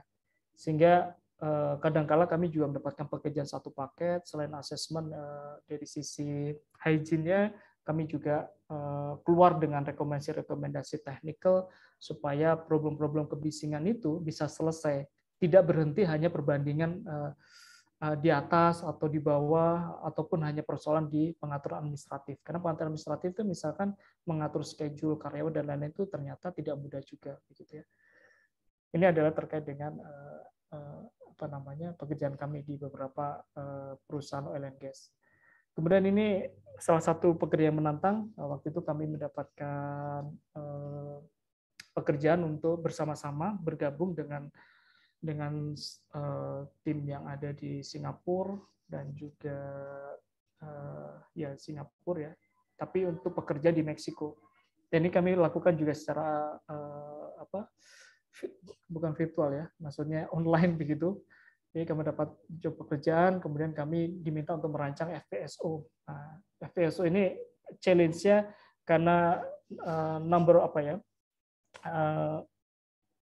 Jumlah dari pekerja yang on board itu tertentu dan tidak bisa bertambah atau berkurang sehingga kami perlu melakukan analisis-analisis tidak hanya memetakan eh, distribusi kebisingannya tapi kami juga melakukan studi-studi yang bersifat sensitivity analysis. Mungkin ini perbedaannya dengan yang di kawasan-kawasan industri yang di onshore begitu tapi kalau sudah di offshore ini lebih rigid dan tantangan lainnya adalah kami harus memenuhi uh, sekian regulasi secara simultan sehingga kami perlu mendapatkan atau memutuskan suatu pendekatan multi constraint supaya desain kami ataupun rekomendasi yang kami susun itu sudah sesuai dengan kebutuhan semua uh, regulasi ini.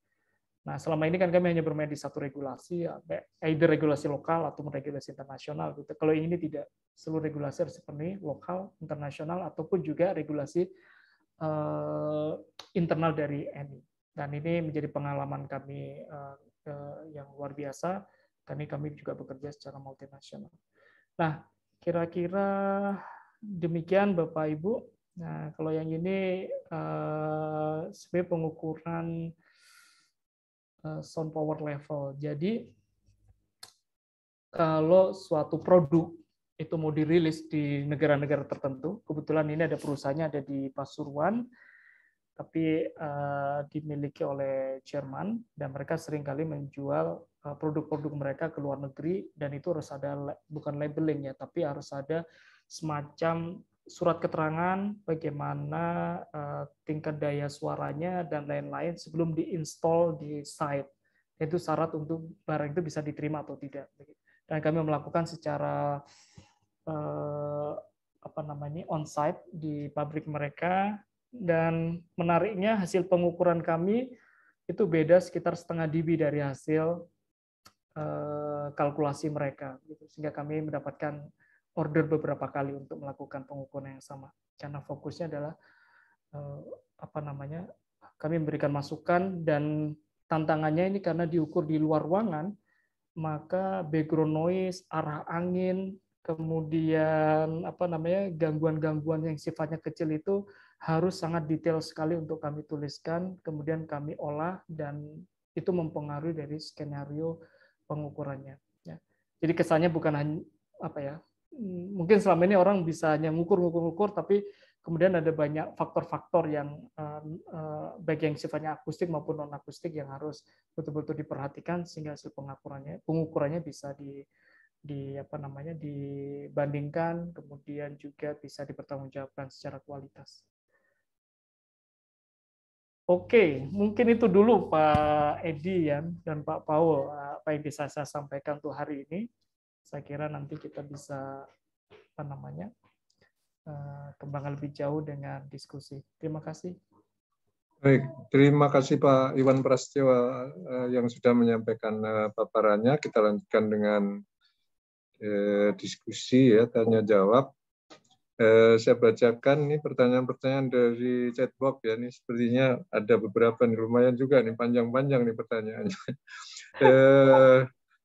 Yang pertama, yang pertama pendek-pendek nih Pak. Ini dari Cak Adi ini. Berapa dB ukuran ideal untuk pengeras suara? corong tua pada tempat ibadah dengan lingkungan padat penduduk. Terima kasih. Nah ini ini masjid ini Pak. ya terima kasih Pak Adi ya dia. Nah eh, sebetulnya sebetulnya di sisi kami akustik itu kalau bicara eh, itu sebenarnya kami menyebutnya PAGA ya, public address dan general alarm masuk ke ke keilmuannya. Prinsip dasarnya suara atau informasi yang keluar itu baik dari corong masjid atau yang institusi itu adalah kita lebih masuk ke dua aspek tadi. Satu itu ada clarity, kejelasan. Yang kedua itu adalah kenyamanan.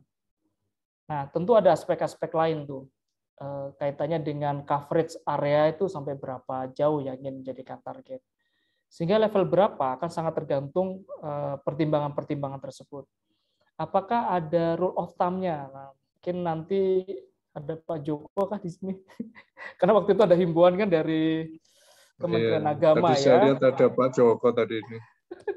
mungkin Pak Joko bisa bantu kan? saya nih karena waktu ada himbauan dari Kementerian Agama misalkan ya yang kemudian memunculkan polemik karena secara teknis eh, tidak lengkap ya dan itu juga uh, himbauan kemudian satuannya juga DB begitu sehingga uh, uh, bisa memunculkan multi interpretasi.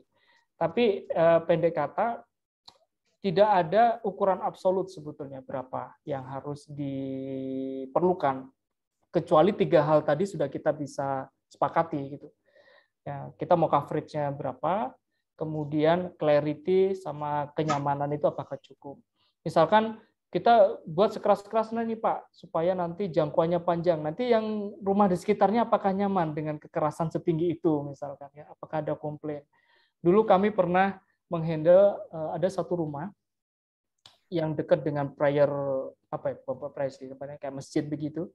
Tapi masjid ini eh, kegiatannya itu eh, padat begitu, tidak hanya saat sholat dan lain-lain. Sehingga ah, putri atau bayi beliau itu sering kali kaget ketika ada aktivitas di masjid itu karena menggunakan pengeras suara.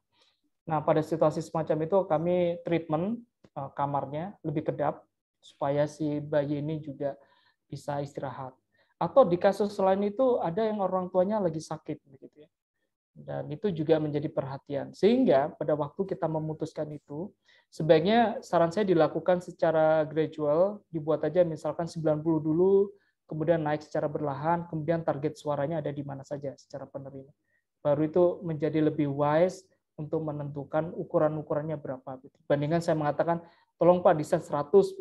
Ternyata kondisi masjidnya juga berbeda antara jarak rumah dengan yang lainnya. Mungkin itu yang bisa saya sampaikan Pak Edi. Baik, eh, ini dari Pak Joko Sarwono ini ngetik aja tidak eh, dengan mic-nya ya.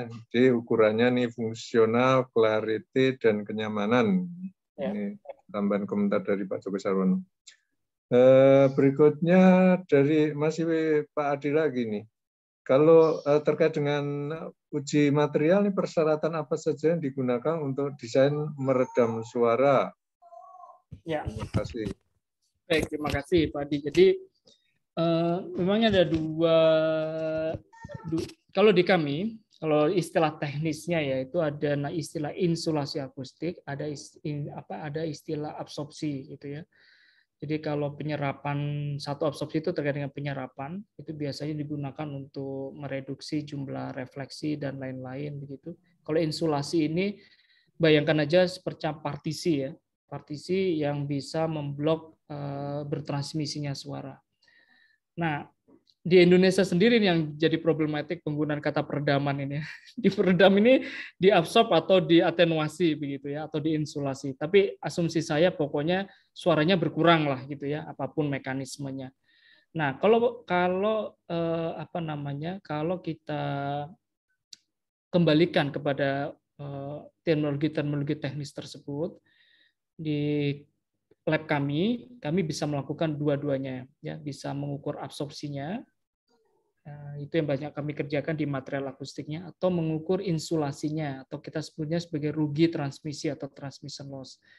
Prinsip dasarnya memang eh, perlu ada fasilitas khusus untuk memastikan kami menyebutnya itu medan suaranya ya, medan suaranya supaya hasil pengukurannya objektif ya apakah medan suaranya langsung atau medan suaranya yang diffuse ya yang tadi itu di ada ruang dengun dan lain-lain. Nah, ukuran materialnya berapa? Ya, kalau ukuran materialnya eh, tergantung standar yang ingin diikuti. Misalkan di kami itu menggunakan ASTM itu 1,4 meter persegi. Tapi kalau yang menggunakan ISO dengan metode yang berbeda itu bisa ukurannya 3 meter kali saya lupa ya 3 kali 3 atau berapa begitu. Nah, sekali lagi Pak Adi sangat tergantung eh, parameter apa yang mau keluar dari hasil eh, pengukuran itu. Apakah koefisien absorpsi, apakah rugi transmisi. Dua itu yang biasanya paling sering diperlukan di eh, masyarakat. Kalau kalau kemudian kita pertanyaan itu lebih ke arah ini mau ngukurnya itu sudah apa besar Pak suara yang hilang akibat partisi berarti itu sebetulnya keinsulasi atau kita mencarinya adalah rugi transmisi begitu. Mungkin itu Pak Edi. Semoga cukup jelas. Masih mute Pak? Pak Edi masih mute. Oh, maaf maaf. Baik. Dari Pak Indro Kristanto. Dalam pengukuran suara, apakah Bapak pernah dilibatkan dalam komisioning atau uji laik operasi pada pembangkit tenaga listrik, PLTU, PLTGU, PLTD, dan lain-lain? Jika pernah, mohon penjelasan cara pengukurannya. Terima kasih. Ya, sebetulnya Pak, untuk komisioning secara langsung kami tidak pernah diundang, Pak. Untuk kasus di Indonesia, dulu kami pernah bekerja dengan Korea dan lain-lain untuk pembangkit. Uh, ada dua Pak yang harus dilakukan di komisioning itu. Yang pertama adalah di sisi industrinya di dalam, yang kedua adalah di sisi lingkungan. Kalau lingkungan, kembali lagi yang tadi pengukurannya 24 jam. Tapi kalau yang di dalam, biasanya kami melakukan pengukuran-pengukuran di sumber-sumber tertentu. Yang tadi persis yang di slide saya yang terakhir tadi, yang seperti inilah ya. Sebentar, saya semoga slide saya belum hilang ya. Ya, seperti ini Pak. Kami melakukan pengukuran, ya ada salah satu unit. Ini sih fan sebetulnya, cooler ini Nah, di di tahap sekarang kami lebih banyak ke planning memang, Pak. Artinya sebenarnya komisioning itu hal-hal yang yang standar yang bisa kami lakukan. Eh, apakah itu langsung melakukan pengukuran di lapangan ataupun memberikan eh, desain dari komisioningnya sendiri. Nah, terakhir itu kami eh, bekerja dengan Red Engineering dari Singapura itu untuk data center, Pak. Kami mendesain bagaimana supaya data center tersebut memenuhi kualifikasi lingkungan standar standar untuk eh, lingkungan. Itu kami mulai dari FAT untuk unitnya sendiri.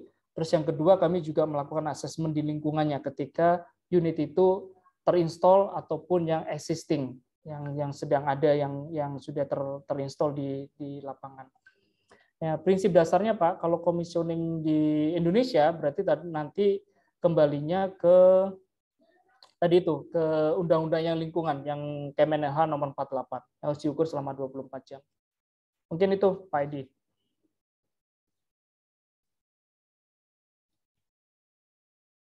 Pak Edi masih mute. Ini lupa ini soalnya di dekat nih ada anak-anak kecil bermain jadi harus siapin. Baik, eh, berikutnya dari eh, ini angka ya identitasnya ini 395893. eh, ada berapa nih? Oh nih, ada nomor tapi sebenarnya satu pertanyaan. Dalam bidang apa saja yang intens atau serius Bapak lakukan penelitian atau proyek yang sudah diterapkan redaman noise ini. Contoh ada proyek oil and gas tadi.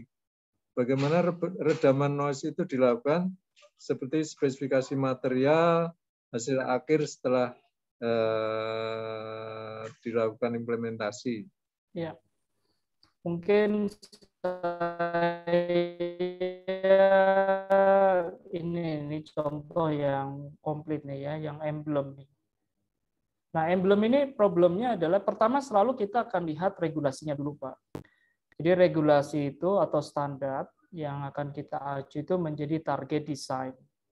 Jadi ini ini di kawasan industri, maka eh, target di batas atau ini di pagar ini ya, kalau Bapak Ibu lihat ya.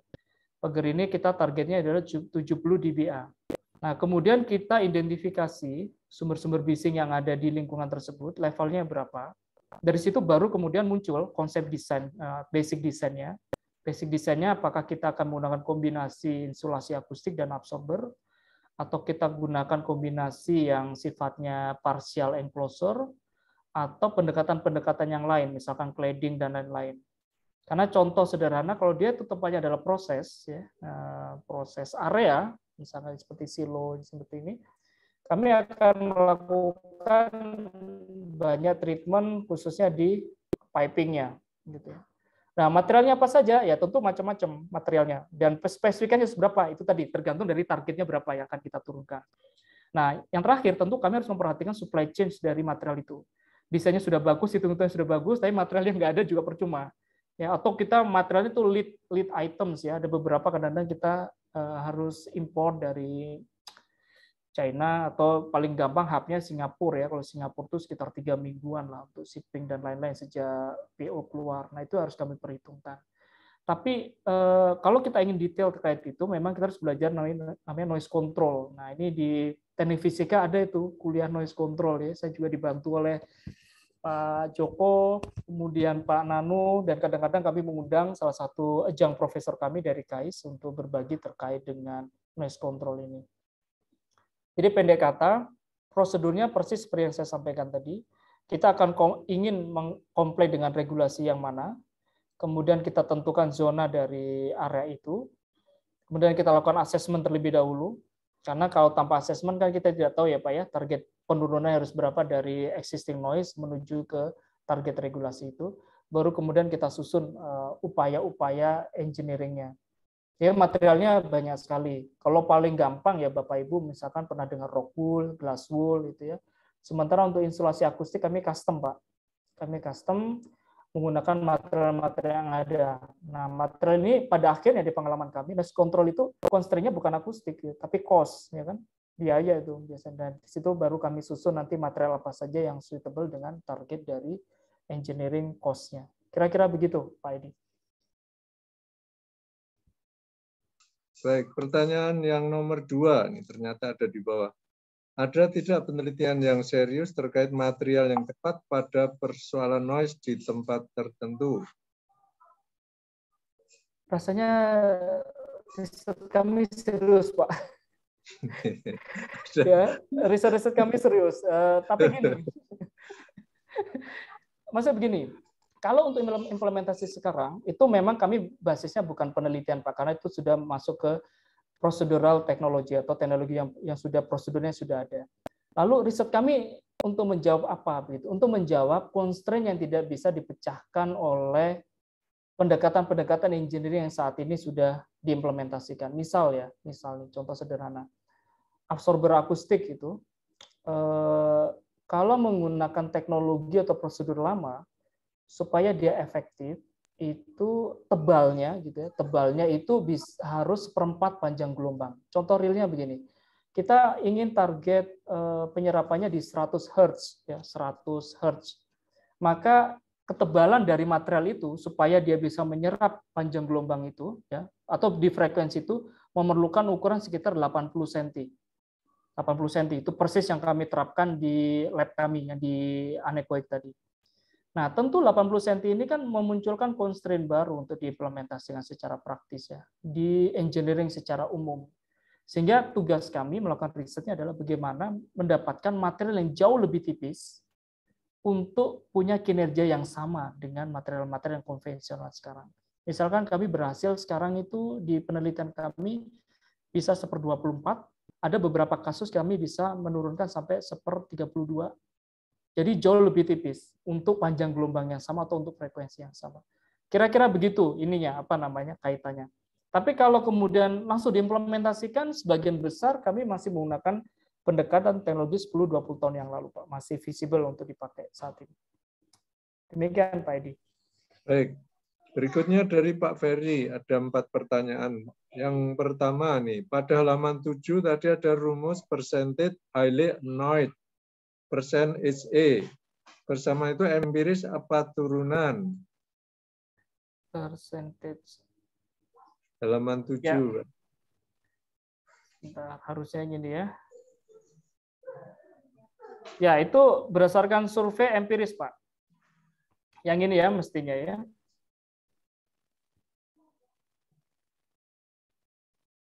Yang ini ya, Pak ya. Ya, ini empiris, Pak. Ini salah ya. satu survei yang di apa yang dikeluarkan waktu itu oleh schools ya, schools itu uh, hubungan antara uh, phishing 24 jam, kita sebutnya sebagai LDN, LDN night, kemudian dengan tingkat gangguan. Nah, pendekatan-pendekatan semacam ini banyak dilakukan oleh timnya Pak Joko Sarwono di tempat kami. Jadi bagaimana memadukan antara ukuran-ukuran kuantitatif dengan hasil survei. Nah, nanti dicari uh, korelasinya. Sehingga kemudian didapatkan model-model semacam ini, bisa aja modelnya itu structure equation modeling, bisa dikenal, atau kita menggunakan regresi, atau kita menggunakan clustering ya bersifat PCA ya, yang bukan bersifat yang bentuknya prinsipal komponen analisis untuk menentukan dimensi-dimensi dari gangguan tersebut. Jadi jawaban pendeknya ini empiris. Fitting aja Pak terhadap hasil survei dan uh, eh, LDN-nya. Demikian Pak ini. Pertanyaan nomor dua pada halaman 13, vibrasi tanah. Frekuensi 1 sama ya. sampai 80 ukurnya pakai alat apa ya? apakah frekuensi tanah yang akan gempa bumi frekuensinya berubah drastis? Kalau alat ukurnya eh, bisa kita gunakan hydrophone ataupun accelerometer, Pak. Tapi untuk yang ground vibration ya. Jadi prinsip dasar pemilihan sensornya kalau Bapak Ibu eh, fokus di ground vibration ini itu ada rentang frekuensinya. Itu biasa 1 sampai 80 itu yang dominan ya, dominan untuk uh, kaitannya dengan ground vibration. Nah, berubah drastis uh, harus hati-hati yang begini. Kalau untuk kasus-kasus untuk seismik ya, ini sebetulnya lebih ke seismik ya, seismic vibration, itu situasi-situasi transiennya yang penting untuk diketahui. Sehingga pada waktu kita melakukan pengukuran, itu kan masih time domain begitu ya Pak ya. Dari time domain itu kemudian nanti kita bisa transformasikan untuk mendapatkan frekuensi domain gitu. Nah, di frekuensi domain itu kita ambil dari waktu berapapun akan keluar komponen-komponen frekuensinya. Tapi tidak keluar dari 1 sampai 80 Hz itu. Tidak jauh-jauh dari sana. Nah, targetnya apa? Tentu kita ingin tahu target dari keumuman data-data seismik yang ada di situ. Gitu ya. Nah, dari sana kemudian kita baru bisa menyusun kira-kira pendekatan uh, teknisnya seperti apa. Ya umumnya sih membangun vibration isolator ya. Uh, bisa itu berupa damper ataupun kalau Bapak Ibu sering melihat banyak di kasus di YouTube ya, ya dia pasang damper di fondasi dari dari apa namanya bangunan tersebut sehingga ketika ada gempa dan lain-lain itu tidak merusak bangunan ataupun bangunan itu bisa bergerak uh, secukupnya sehingga tidak memunculkan Eh, apa itu crack ataupun damage terhadap bangunan tersebut. Demikian Pak Edi. Baik, yang nomor tiga di Rumah Sakit Koja Jakarta sekian tahun yang lalu ada jalan tol baru yang melintang di dekatnya. Kemudian dipasang peredam di sisi-sisi tol dekat rumah sakit itu. Dalam praktek realnya itu bahan apa, Pak? Sebentar, ini hmm, tangkap saya mestinya noise-nya ya. Ya, jadi ada ya, jalan, ya. ada noise Kalau, di jalan Ya, harusnya itu barrier, Pak, istilahnya ya. Semoga saya nggak salah tangkap ya di pertanyaan ini, karena umumnya kalau kita punya jalan tol, kemudian dekat dengan dengan apa namanya dengan bangunan itu kita gunakan eh, apa barrier. Barrier itu materialnya bebas, Pak. Yang penting solid, ya. yang penting solid. Kemudian eh, dia memiliki dia memiliki atau minimum ya eh, kerapatannya atau density-nya itu 20 kg per meter square. Nah, barrier ini eh, kinerjanya atau kemampuan atenuasinya ditentukan oleh ketinggian dan desain dari ujungnya itu apa ya kita sebutnya tipnya itu ya supaya atenuasinya cukup. Karena mekanisme atenuasinya itu bukan berdasarkan transmisi, tapi berdasarkan difraksi secara lokal. Sehingga nanti ada area yang gulu dia dibelokkan ke tempat lain. Kira-kira begitu. Jadi barrier itu istilahnya. Di apa ya, lebih advance misalkan mengkombinasikan barrier dengan absorber dan lain-lain itu bagian dari detail teknis dari uh, noise controlnya. Tapi secara umum dia adalah barrier. Begitu Pak Edi. Baik, pertanyaan nomor empat. Untuk kasus sederhana, bila suatu motor eh, kebisingannya kita redam, pasang dalam suatu box, bagaimana material yang relatif mudah dan murah setahu Bapak? Dalam prakteknya berapa persen dB penurunan maksimum yang bisa didapat? Terima kasih banyak Pak. Ya, ini dimasukin box itu berarti masuk ke ruangan gitu ya, bayangan saya ya, motornya ya. Bagaimana ya? Eh, karena gini, kalau motor itu sumber bising utama itu adalah kita sebutnya exhaust itu ya atau knalpot lah kalau bahasa awamnya ya. Nah di knalpot itu ada silencer. Nah kalau kemudian bapak ibu eh, melakukan testing dan sejenisnya dalam ruangan itu, maka ada beberapa hal yang harus dipasang. Satu itu absorber. Absorber ini sebenarnya busa lah, Bapak Ibu ya. Tapi busa ini hanya untuk mengurangi refleksinya. Itu biasanya turun sekitar 5 dB, nggak akan jauh-jauh dari situ. Tapi problem utamanya sebetulnya, kecuali ini ya, kecuali busa yang kita desain secara khusus, dia bisa sampai 10 dB ya. Tapi overall ya 3-5 dB gitu sangat tergantung dari ketebalan sebetulnya ketebalan dari foam yang akan dipasang. Tapi kalau itu memang seperti ruangan gitu ya, semoga saya nggak salah nangkep ini pertanyaannya karena saya kurang jelas caranya. Kalau itu dalam ruangan, misalnya Bapak ingin memasukkan ke dalam ruangan, kemudian ingin testing itu supaya suara tidak keluar, maka materialnya tidak hanya absorber, tetapi juga harus ada insulasi akustik.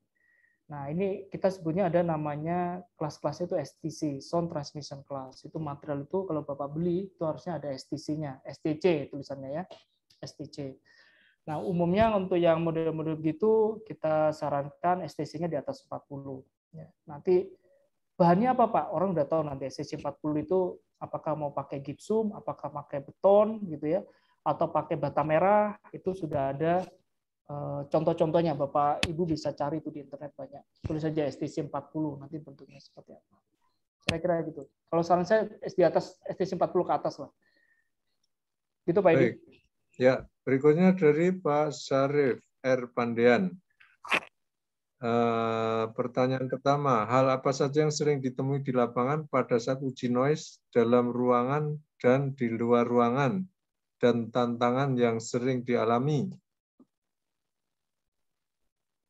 Ya, eh, dalam ruangan ya, baik Pak. Sebenarnya begini, dalam pengukuran itu supaya akurat ya, memang kita yang harus pastikan itu adalah kelengkapan instrumen ya, sesuai standarnya. Contoh kalau Bapak tadi lihat ya, sebelum nanti saya masuk ke ini ya, mudah-mudahan saya ada contoh. Nah, ini aja. Ini contoh pengukuran dalam ruangan.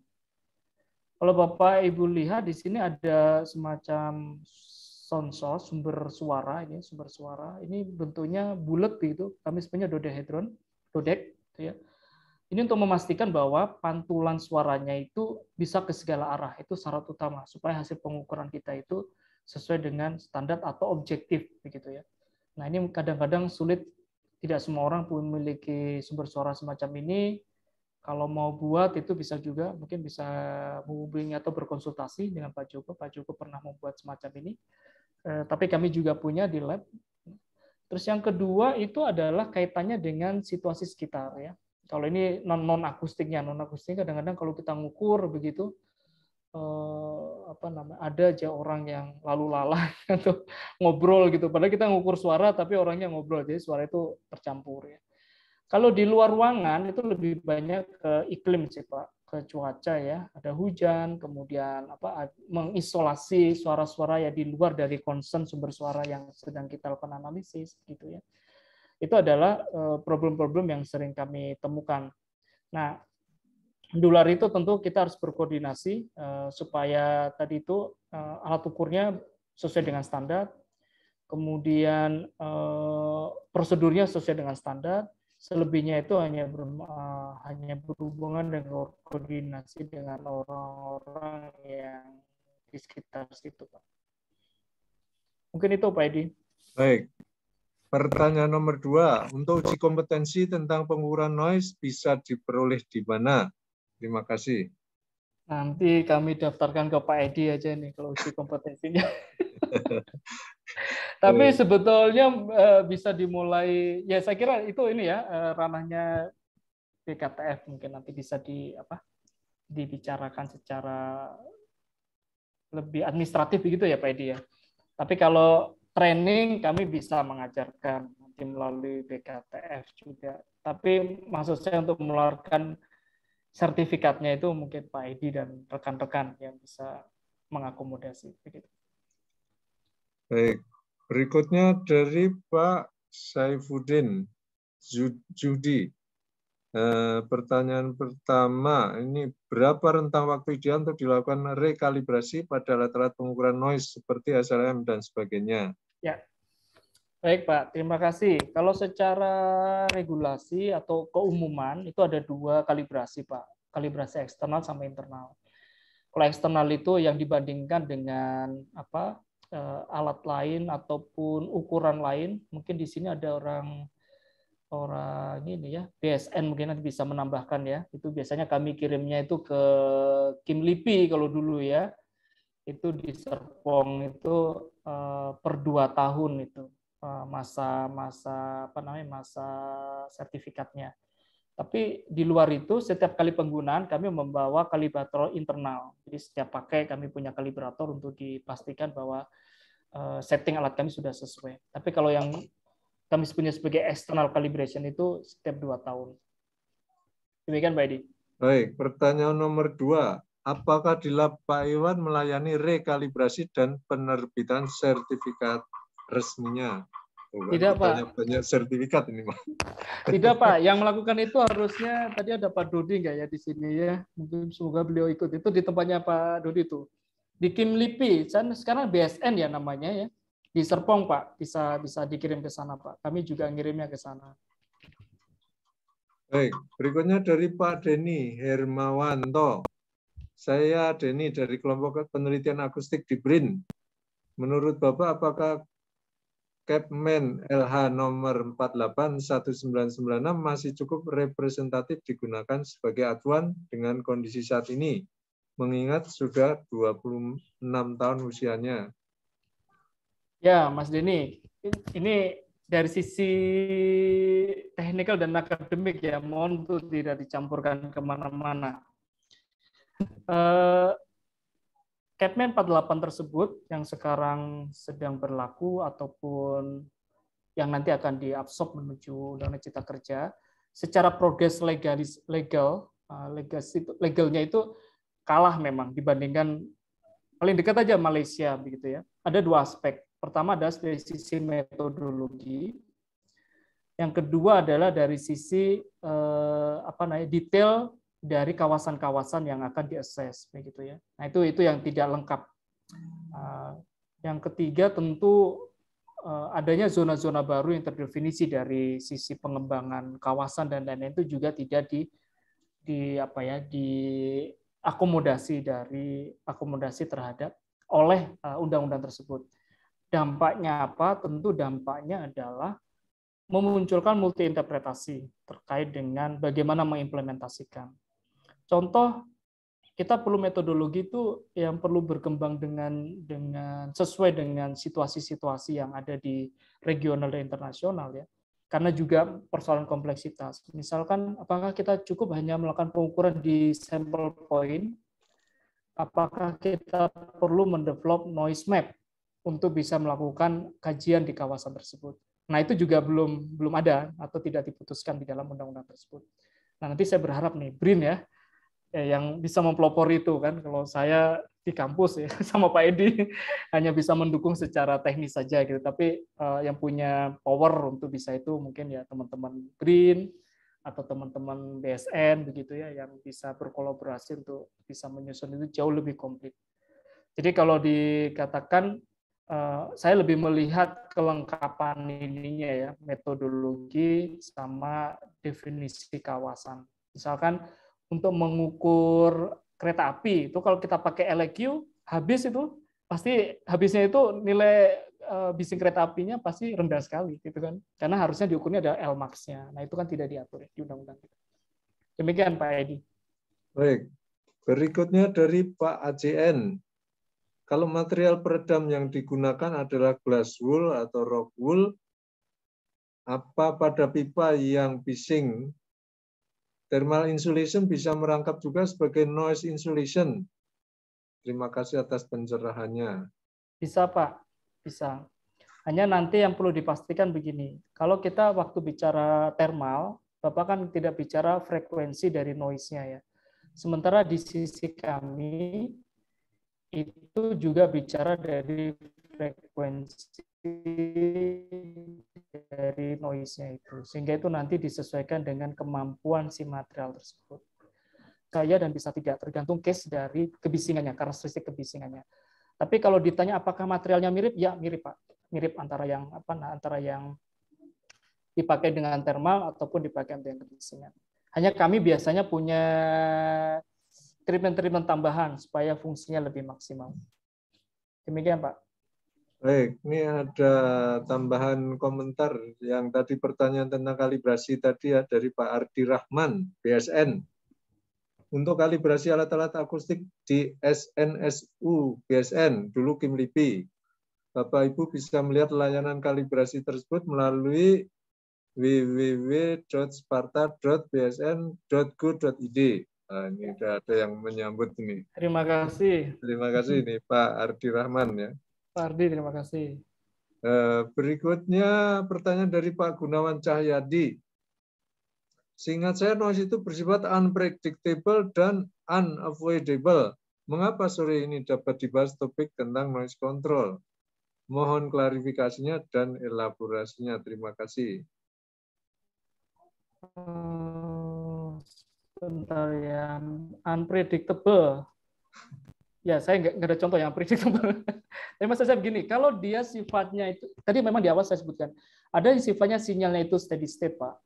Ada yang sifatnya intermittent. Kalau betul-betul random, kalau dalam konteks sinyal itu, contoh sederhananya itu yang turbulensi itu, Pak.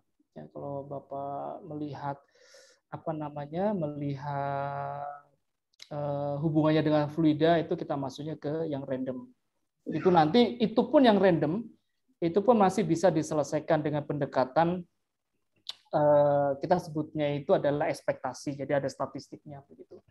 Tapi sebagian besar bising-bising industri ataupun bising-bising yang sifatnya eh, lingkungan itu selalu banyak berkaitan dengan mechanical pak.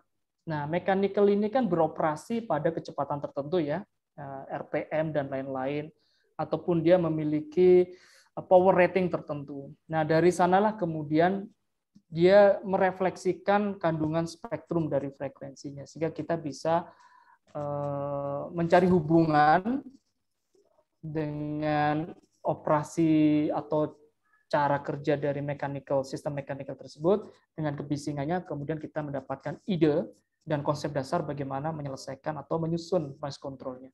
Kira-kira begitu, Pak. Tapi kalau unpredictable betul-betul tiba-tiba muncul tiba-tiba enggak itu memang di luar dari eh, apa namanya? di luar dari bahasan dari noise control yang sekarang gitu ya. Dan very unlikely juga atau kemungkinan kecil lah kalau itu yang terjadi karena sebagian besar noise yang ada itu eh, rata-rata bersumber dari hal-hal yang perilakunya juga predictable. Kira-kira begitu, Edi dan Bapak tadi yang bertanya ya. Baik, Terima kasih. Ini tadi pertanyaan yang terakhir ini tadi dari chatbox ya. Kecuali kalau ada yang mau disampaikan langsung, eh, silakan kalau masih ada pertanyaan langsung dengan mikrofonnya.